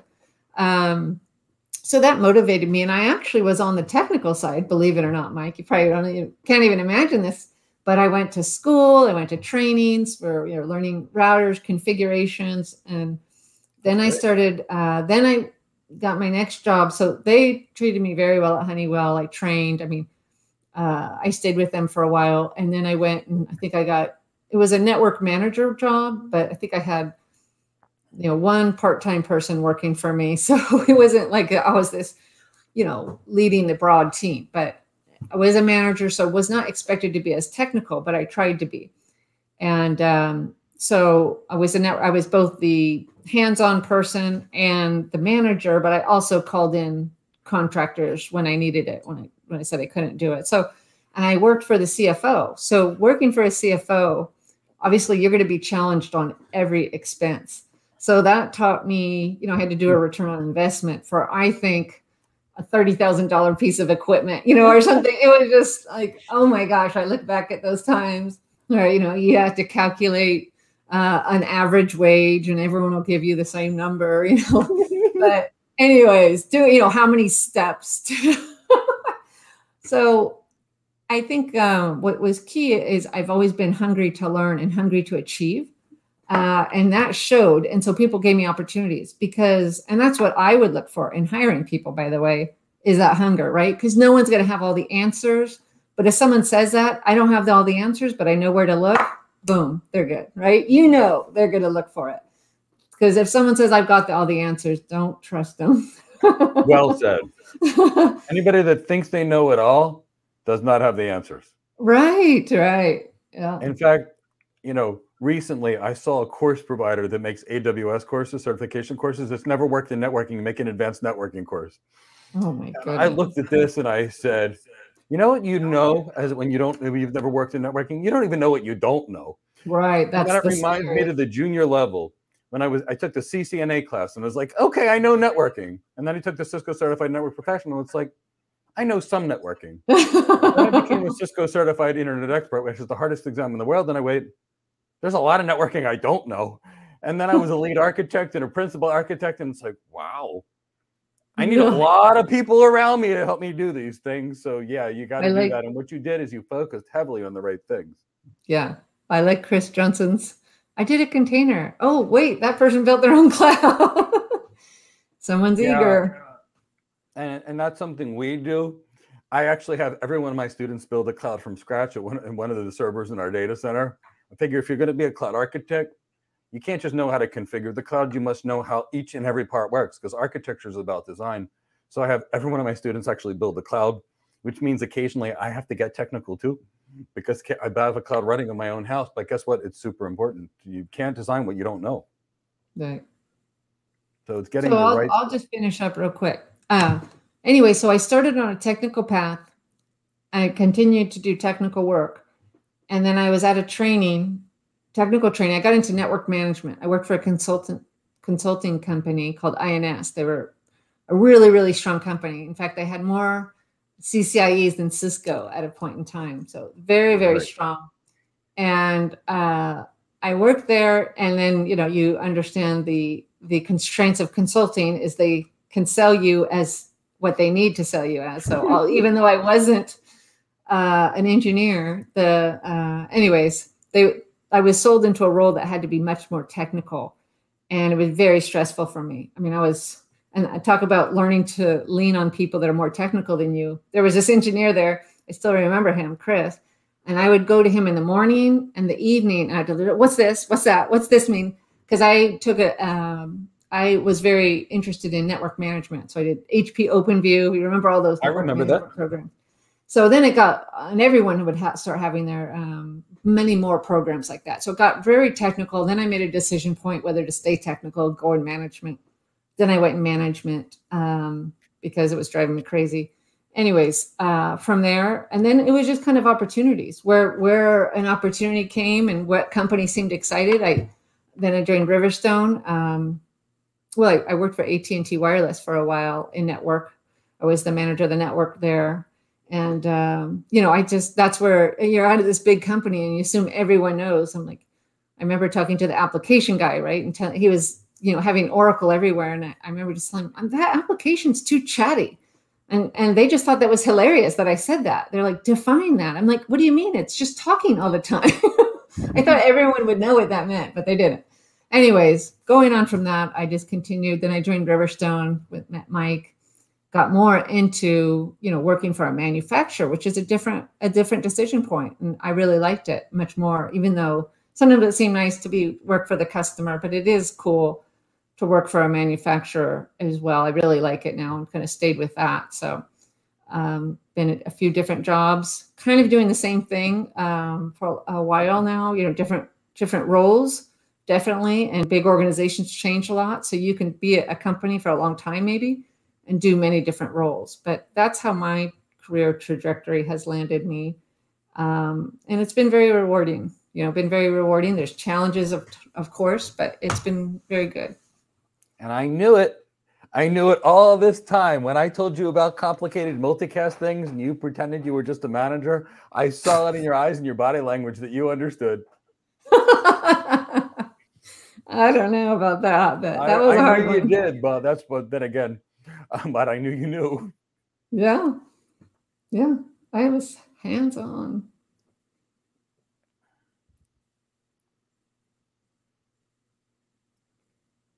That's a good question. It is. Um, I think you run. There's two. There is a good and a bad of doing it this way. So the good is it's always good to present a menu of options to your client. Love that. It's really good. The problem is when you're presenting at the CEO level, for the most part, you've got about one tenth of a second to grab their attention, and you have to come up with a solution that you recommend. And then after that, you provide the substantiating evidence. And you can also talk about additional um, solutions, additional designs that we're and the benefits and weaknesses, but why we've chosen the right one. But make it clear the right one is the right one up top, and then provide the substantiating evidence. Engineers do this engineers talk about all the problems and how they've created a solution. Architects, executives want the solution first, and then they want the substantiating evidence second. So flip it around unless you're good coming point. from the sales world, mm-hmm. and then you'll be good. But definitely provide one solution and then talk about alternative solutions considered and why or why and, and the strengths and the weaknesses and why or why not you recommend them and say this could be a good alternative if you're trying to save here this would be a yeah. good alternative should you not need x y or z but make sure you just give them one thing that's really complete that's boom to the point. Yes, but uh, I like the way you turned his gold, silver, and bronze into an alternative if you're um, trying to save money. You know, that's because no one wants to be told, you know, oh, we'll choose the bronze, right? It's just something not, mm-hmm. you know. So you want to probably phrase that a little differently, but I think your your point is is a good question. Is, is as Mike said, you definitely want to provide options. Uh, provide what you recommend, make that your main point, but always the options. Yeah, options are great. Yeah. Jesse thank Murdoch, you. thank you so much. Thank you, Jesse. That means so, a lot to me. Jesse is 24 years old, living in San Francisco. I need to connect him with Moses. I need to connect him with my student Mitchell um, that I trained that was a senior program manager or product manager at Cisco within two years of graduation. That's now a security architect at Zscaler. Oh. So definitely. And of course, I'll probably drag him on one day. Yeah.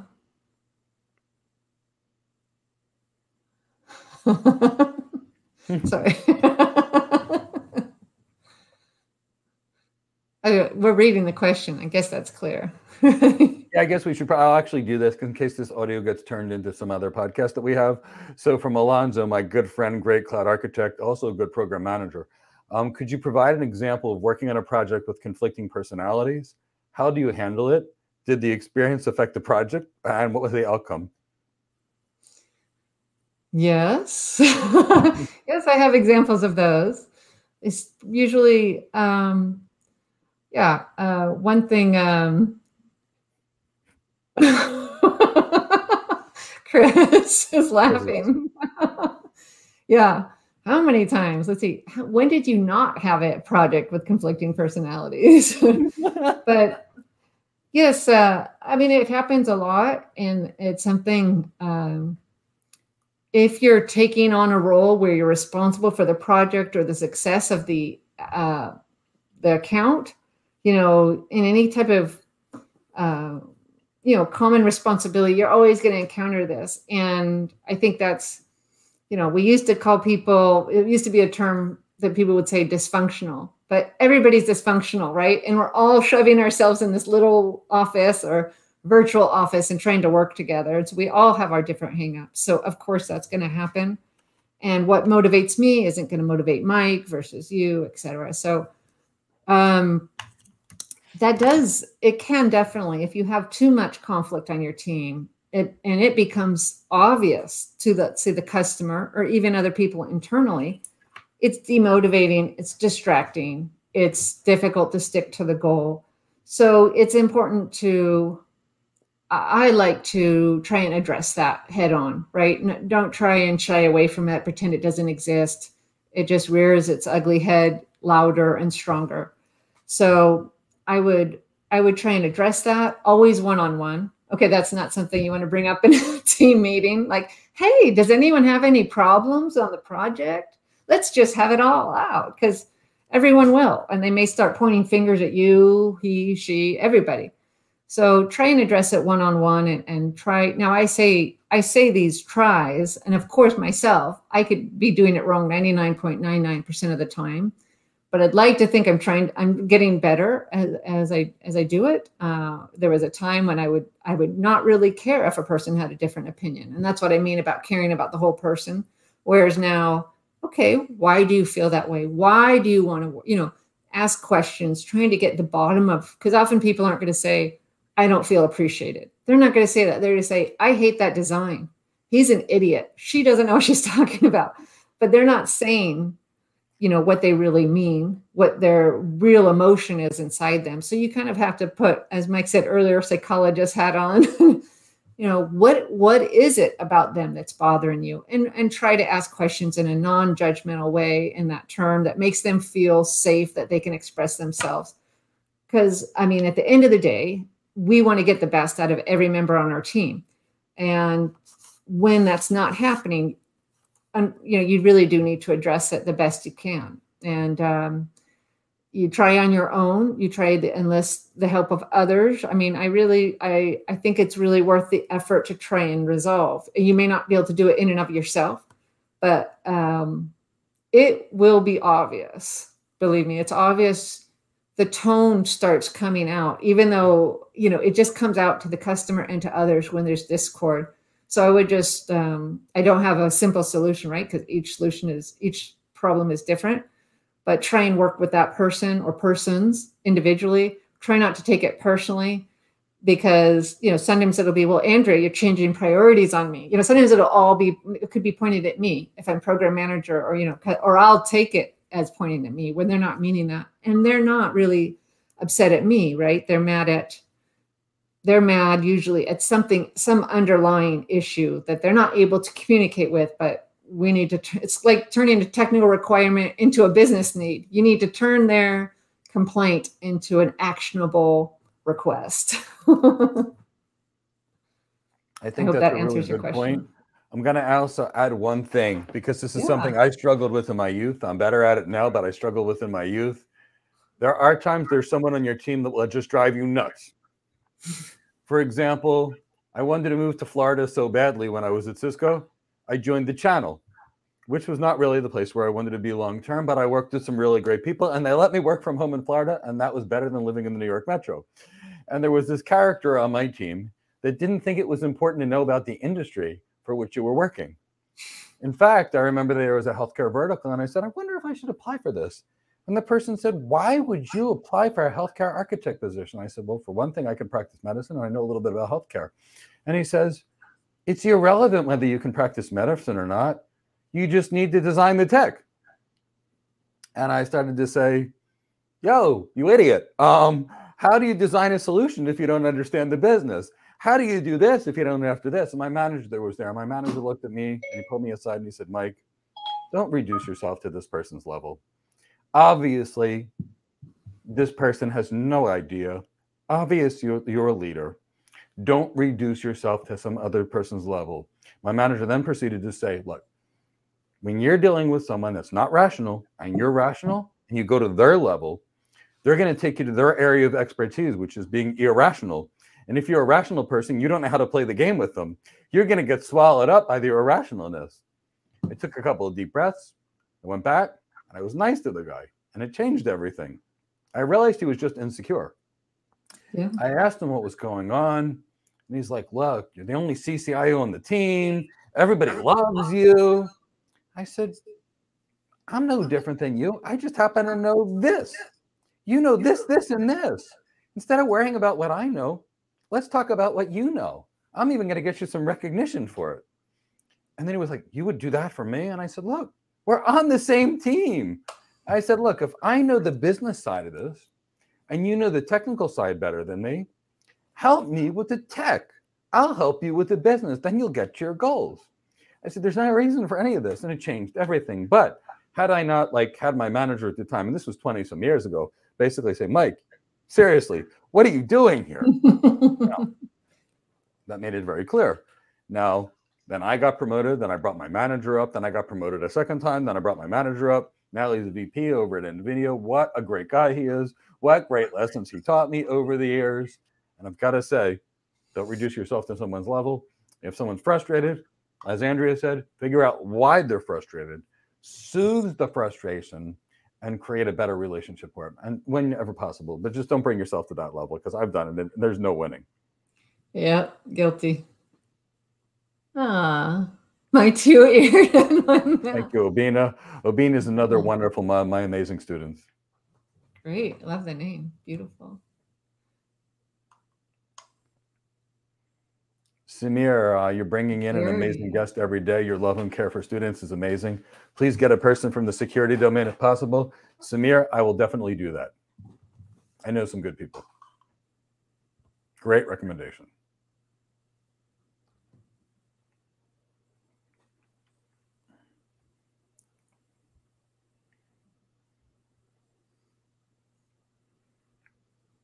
Okay, so we see the first half of that question one more time. Mm-hmm. How to convince the customer in terms of cost, solution, time frame to finish product when they have a deadline. When compromise with the customer is need for needed for the product. Okay, so I'm not sure which question you're actually asking for. Are you asking with regards to how to sell the project? Are you asking with regards to how to manage the project or how to compromise over things that your company's initiatives are different than another company's initiatives. At least that's the three questions that I interpreted. Maybe you had a different perspective, Andrea, when you read it.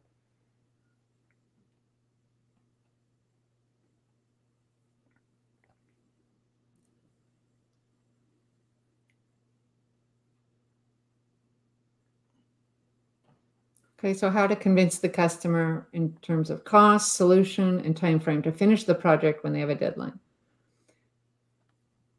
when compromise with the customer is well maybe oh maybe when when we need to compromise with the customer. Yeah i think it's two parties. I mean mohammed yeah managing okay. Yeah managing the the customer. And that is what you're going to need to be doing even as an, an architect right oh, mike? oh, yeah. i mean it's not like oh this is up to management. No this is you know ensuring that they are your customer is sold on your projections of how much time it needs how much they're going to need to spend and um, what items are going to be in that deployment schedule are all, all items that will come to technical people sometimes first before they come to anyone else, right? Because that, hey, this is the guy who knows it all. He designed it. Let me ask you, you know, can you do this, this, and this without me having to buy that? You know, and they're going to ask you to see if can you still get me that even though I don't buy this and because they may not bring that up to maybe program manager or some other role, but they feel a kinship, right? Engineer to engineer, as you said earlier. Mm-hmm. So that's a tough spot to be in, and you you would need to. Um, there's times that we can, you know, I'd be surprised. Sometimes I think it's no, that's done. You paid for it. We can there can meet can there's no modification whatsoever, and that's not true, right? We're living in the real world. We want customers customers are why we have jobs. So um, we find a way. Now, if a customer is trying to get something for nothing, that that's sometimes, uh, and you would know that. Let's say they're laying their cards on the table with you, but not others. It would be good for you to provide that value to your other colleagues to say, hey, by the way, they're having financial problems. I heard because they're asking me to do this, this, and this or get it done to me, get it done in a smaller time frame, you know, and that's, you know, all you can do basically what I feel is put the customer's request forth. Don't feel you have to answer it alone, you know, say, I'll look into it, right? That's all you can do. Thank you for coming to me. I'm going to look into that for you and we're going to get back to you. And then bring it to your team, whoever that is, to have a discussion and just, you know, lay it out for them. And I think people people want to keep customers, you know, right? This is, uh, we're all about maintaining, keeping our customers, having that return revenue. So if there's something we, we need to do as a company, I think I, I'm usually surprised at how much we'll bend, right? Where maybe I'm used to not bending at all and, you know, no, this is the way it goes. And sometimes the lower on the ladder you go, sometimes the more, you know, firm we'll be. Like, no, there's no except exceptions. No, I'm sorry. You signed it. That's it. We go higher and higher, and you'll realize anything is possible. You know, we do things for customers because that's what we need. That's how we get revenue. So I, I, I don't know if that answered your question, Mike, and maybe you could add. I'll add to the first half of it with regards to the sales side. I think you did the perfect job answer on the, the setting expectations. Now, on the sales side, because I've done a lot of sales, I've personally closed billion dollar deals without sales reps. It wasn't supposed to happen that way. It just happened. I personally closed massive deals in the Middle East when there were sales reps weren't were, were like laid off, for example. So here's how I sell, and this is how the most successful sales reps that I've ever met sell. Those that have done huge dollar volumes. I don't sell anything. Me make that very clear. I interact with a customer and I look and evaluate what challenges they actually have. And after I know what challenges they actually have, not sure where Andrea's photo went. Um, but after I know exactly the challenges that my customer has, then I actually figure out the business, what it's going to do. So, for example, um, if I was working with a hospital and the hospital, for example, had a million and one nurses, let's say they had a thousand nurses.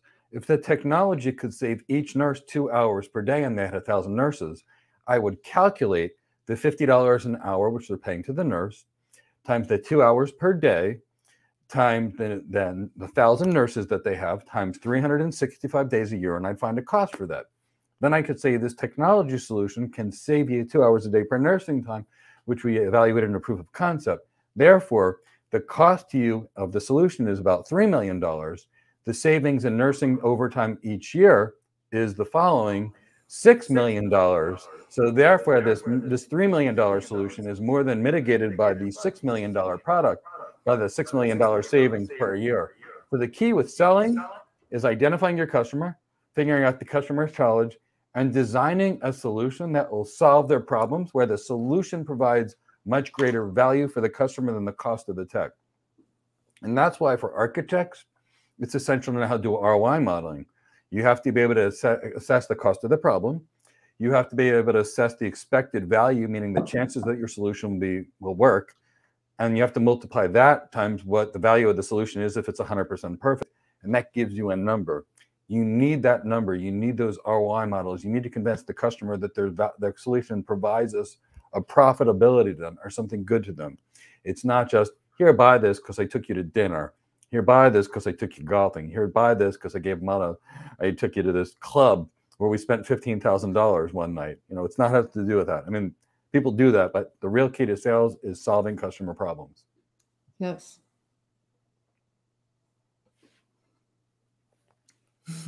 Thank you, Mag. And Mag. He's another one of my great students.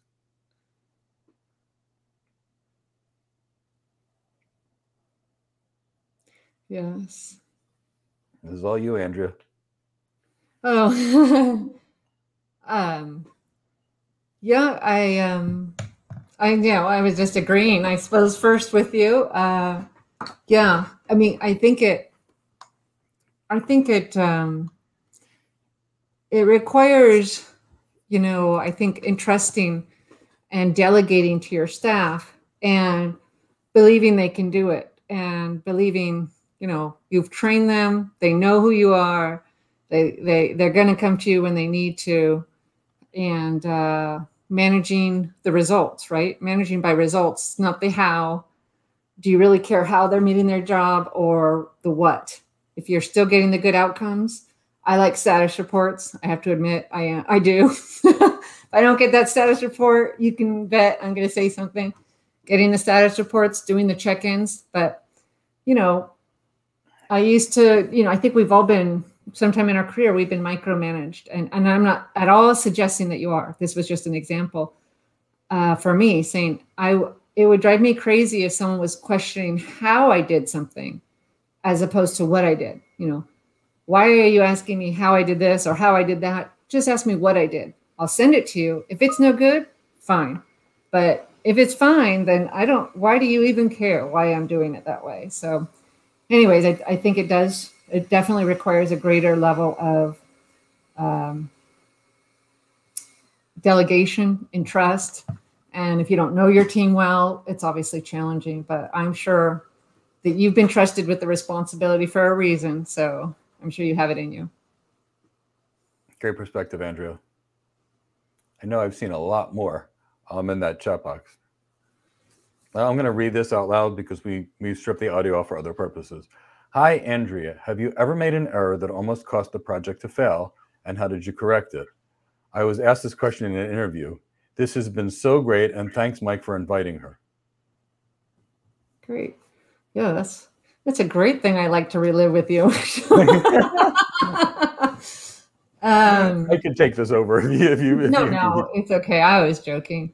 I yeah, I I I have made, I would just answer it that yes, I've made mistakes, and I would say big ones that had uh, um, significant impact. Um, I think that if you're asked in an interview that question, um, I probably would never provide an answer. There's two. There's two answers, right? I haven't been in a case where it almost cost me the um, yeah, exactly. It's laugh out loud time. But if I was asked that in an interview, I would not say, "Oh yes, yes, I have many times." How about you? right? No, I, I would say I, I've made a mistake. I've made mistakes, but I caught them fortunately in time. Uh, I did a review of my actions. I understood the repercussions. It wasn't clear to me at the time what would occur and you know i have had a project where i questioned uh, i did believe that we could do more let's say okay I, I, do remember a real life incident where i thought we could do more and i was sitting face to face with the customer so you're always feeling when you're face to face and you're sitting with that customer you're feeling oh i can meet I, I'm I'm empowered to to meet your need. No need for me to check with others. Okay, that you know kind of pride. But so it's I made some type of commitment, not specific one, but I did make a commitment that, you know, we're going to look into this. I think we can do better. Well, we couldn't. so I got the, you know, the proverbial slap on the hand or whatever it may be. But then I, I owned it, right? And I came back. I said, you know, I, I was a little overconfident and uh, I thought we could do more and we really can't and explain the situation, but I owned it, right? And I think that's the way I would explain that in an interview whether it's I probably maybe not even use that example. That's a real one for me. But um, they're i don't think an interviewer wants to hear even they may ask that question but they do not want to hear that you almost cost the project right Yeah, I mean, yeah they don't want to hear it yeah just give them an answer where you say oh not exactly but i did make this uh, mistake where i let a letter go out without proofreading it you know i mean give them a give them something where yes we're all human we all make mistakes actually, you well put. Give them something. Give them honest, an honest something that's real and not a showstopper. So if someone says, "What are your weaknesses?" I say, "Say what are your strengths?" Be honest. If they say, "What are your weaknesses?" Do not say, "I'm lazy." Do not say, "I don't like to work." Now, give them a real weakness. Everybody that knows me, Andrea knows this about me, Chris knows this about me. I'm not Mr. Organized at all. It's never me. I got little notes all over the room, which I don't even know where they're at. I don't, I'm not organized. So when people ask me, what's your weakness? I say, well, organization is a problem of mine. But I work hard to mitigate it by a checklist, by a note. But you know, yes so give them real. Don't lie to people. People can feel when you're lying. And it Yeah, makes them give- uh. I mean, from my favorite movie, Hitch. So it's a Will. Smith movie. But anyways, he says on a date, he's like, he's like the he's giving them advice on how to date women, and so the guy is like, "So are you saying lie?" And he said, "No, I'm saying tell the truth, be you, but don't be fully you. Give them a little, just not too much, right? You don't want to open up." Well, to be honest, you know, you don't want to open up your most painful memories. Just give them a little bit of you. Let them know you're authentic. Move on.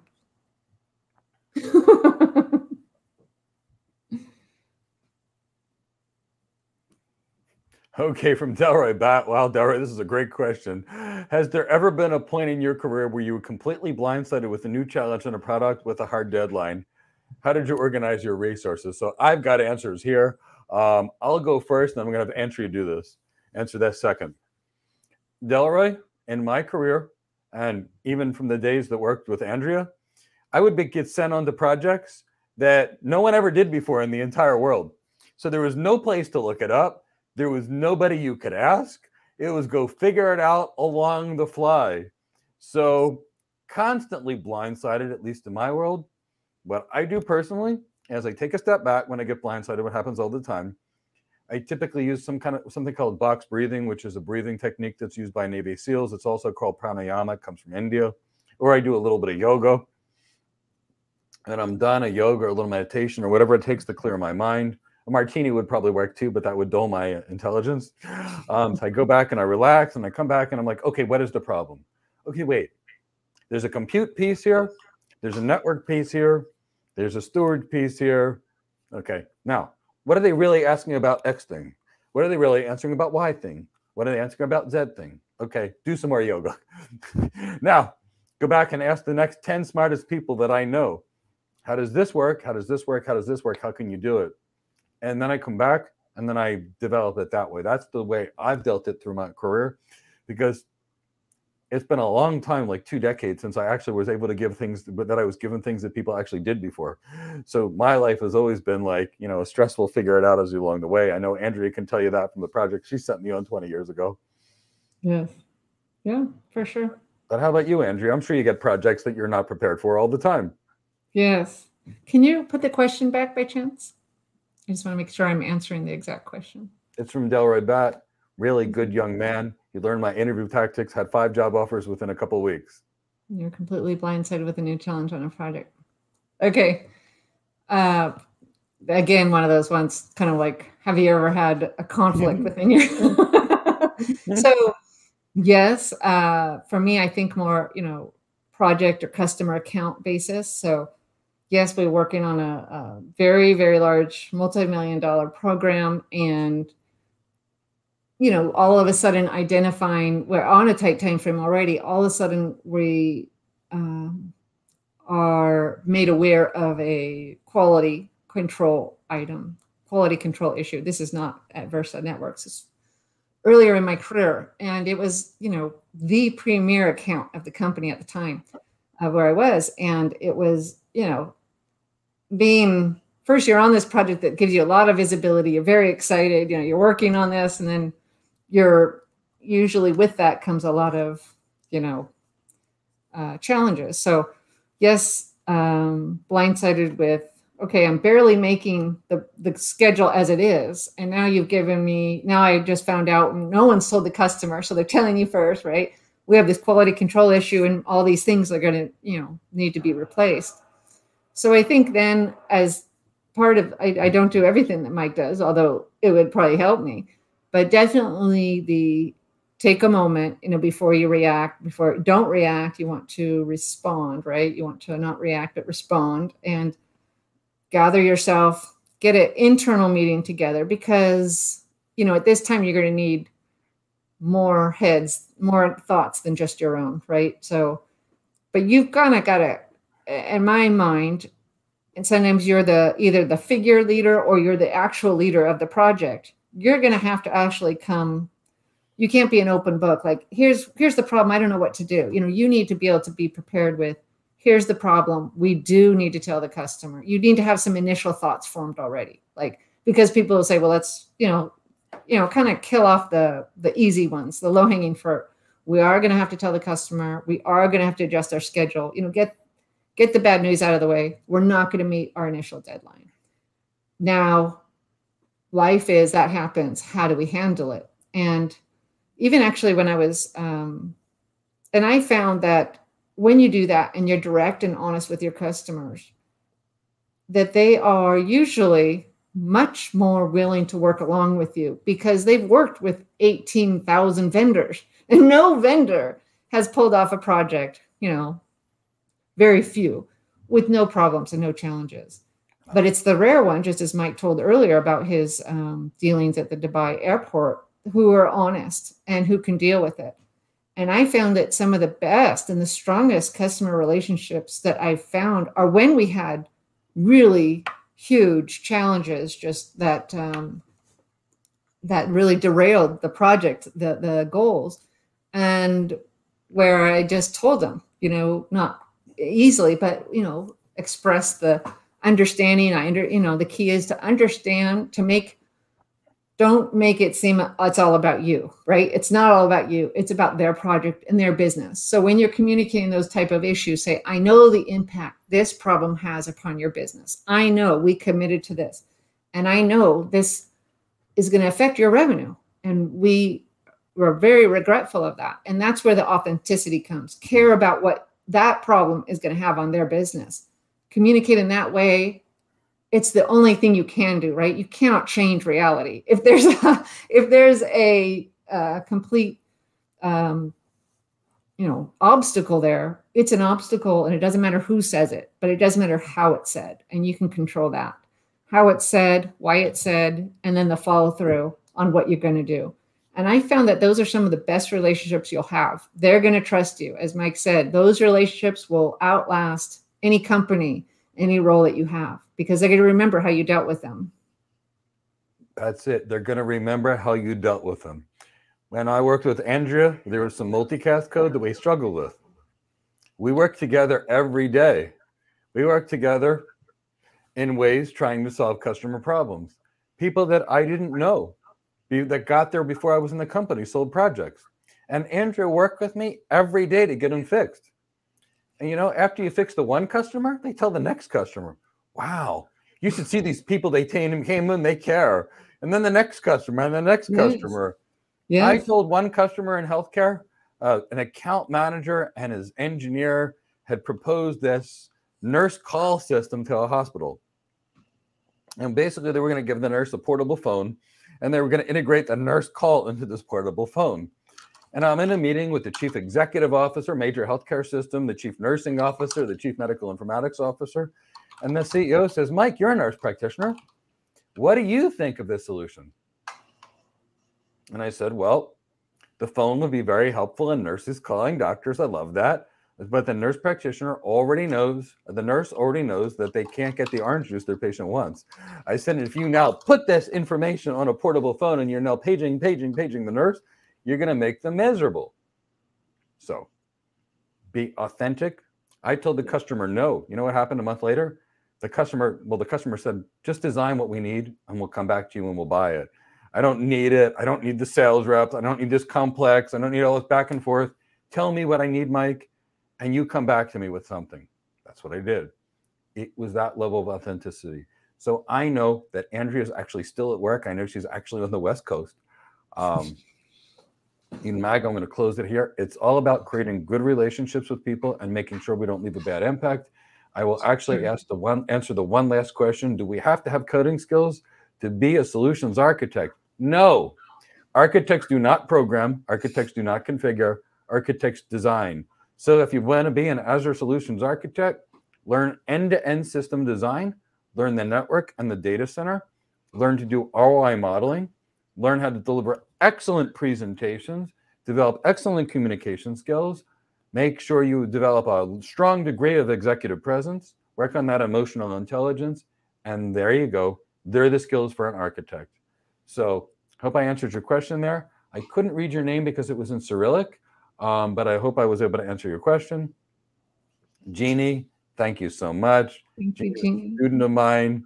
Jeannie knows I love Ethiopian food so much that she sent me two hard to find spices from Ethiopia, um, Wow. sparrow as well as berbere, something that I can't even find locally since my Wow. local Ethiopian restaurant is closed right now because of COVID. people are still on. That's so nice. They sure are. Um, Lonzo, always Ah. appreciate every kind thing you have to say.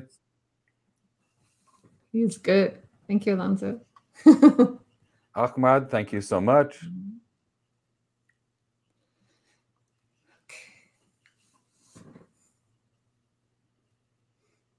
Thanks so much, Yavar. I'm sorry I couldn't get your I didn't I couldn't read your name. If it was in Greek, I could read it, Oh. but uh, Yavar. Nice.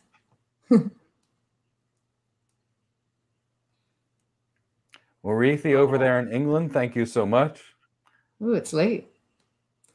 We actually have Andrew. We actually have people like Chin and others that are actually in Asia that stayed to hear you speak. I've got people Hmm. in Singapore that stayed to hear you speak. People in India are here to see you speak. I don't think it's me, but thank you. It is. Ian is Ah. my good friend in England. He's now a cloud architect. He's also Yay. in the military. Need to learn PMP. Um, no, you don't need to learn that as an architect. Um, but you know, we do occasionally manage projects or lead projects. So I wanted you to all be experienced to a rock solid world class program manager. Thanks, Jason. Delroy, it's always good to speak to you. Claude J, thanks so much. oh, Jay, I talked to, I answered their question. Oh, that's really nice. Thanks so much. Uh, Ian, when you come to Florida, we're going to have some red stripe beer and I will cook some jerk chicken and peas and rice. I'll even eat grains that day and I'll make some bammy as well. Chin is over there in Asia. Oh. Isaac, thank you so much. Time is it in Asia? Must be, Middle of the night. wow. Yeah. Actually, it was the middle of the night when my Asian students were in the last call. Adam, he Oh, stayed up till 6 wow. a.m. Oh my Adam's God. one of my motivated youngsters that's going to get out of school and be everything that everybody needs. Chidi, Exactly. Jane, I am so happy to see you. You were here. Chidi. I wonder if he watched the um that sitcom and the guy's name was Chidi. Yeah, The Good Place. Anyway. Oh, I actually love that show, but Jane. yeah, his name I'm Chidi. sure. Derek is a real class act. He's one of my students, and I say the word. I'm Amun Mag, uh, thank you so much. You didn't need coffee to stay up. That's great. Mag is over in India. Ah, Angela, is, well, Angela was one of my first students. She's now a cloud architect. I know. I have nothing like but great things. Um, 2 a.m. Oh my goodness. Oh, he started from 2 a.m. Whoa. Okay. well, Andrea, Well, this has been great. Thank you so much, Mike. And it's so great to have an international audience. It's very cool. Thanks so much for joining us, Andrea. I'm super grateful. Obviously, you'll hear from me soon. One day, I'm going to steal you and bring you on to Go Cloud Careers. Um, although all the people in your company will hate me for doing it. So, you know, I I expect to have, you know, Marines uh, coming to my house, you know, angry at me for this. But one day, some way, somehow, I'm going to have to get their permission to steal you. But in the meantime, I think you're at a great, great, great technology company. One that I would work with with you. I like so much. Those people are so great. Are you talking to me? Yeah. Oh, I said, thought you were happen to be one of the best technology companies that's more innovative Yes. than some of the best people. I miss Yes. the people you work with so badly that just because I said I'd like to steal you, I know Oh. they need to. yeah. Oh. All right, guys, Dad's here. Andrea's got to Okay, get. that Andrea's is got chief some operating meetings to get officer, to. Chris. Um, he's here to make sure that we do things on time because Chris knows I will babble until tomorrow because I've got Yeah. my good friend Andrew that I have the biggest respect for in the world. I'm super excited to hear you and I love to teach. So, Yeah. Chris, thank you for taking over. Thank you for getting Andrea back to the meetings that she's late for. Andrea, thank you Could you so see much my note. Chris? I got your note. That's why I popped in. I said, "Oh, there's a message over here. Andrea's got a meeting to go to." I'm like, I'm seeing, I'm like, I've already missed one meeting. So, but it was, this was really great. It was really cool. Thank you so much. Thank you again, Andrea. Take care, everyone. It's been a real honor and a privilege um, to spend the afternoon with you. Andrea, I can't thank you enough. Thank you. Bye. Take care. I'll let you know you know how to close it in all the right ways, Chris. Is there any last minute questions for me? Because I've I've got a couple more minutes.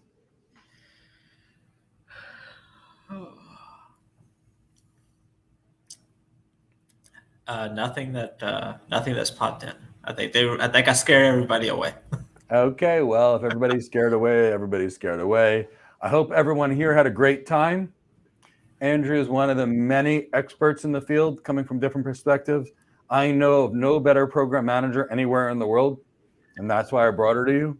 I'm going to bring in some network experts. I'm going to bring in some more security experts. I'm a network guy myself, but you know, I want you to hear from others in industry, so you can hear it's not just me saying that architects don't code, for example or you can hear it from me when hearing what architects do at other companies, hearing how to lead great organizations. I'll have to do this. Um, I think that sounds fun. Um, I've got something with your name on it waiting for you, Alonzo, when you get to Florida. You don't need to bring anything. Um, greetings as well. Um, uh, to, so bring your book. Yeah, bringing a book is probably a really good idea.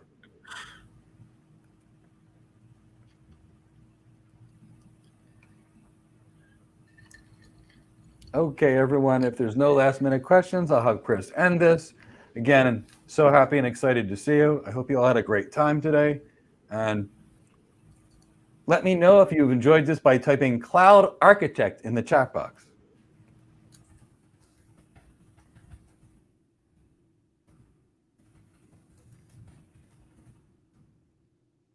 Of course, you, half of you guys are probably sleepy. It's pretty late where you're at. And there's also a pretty extensive delay. Cloud J, great. Have a good evening, Alonzo. Cloud Architect Alonzo.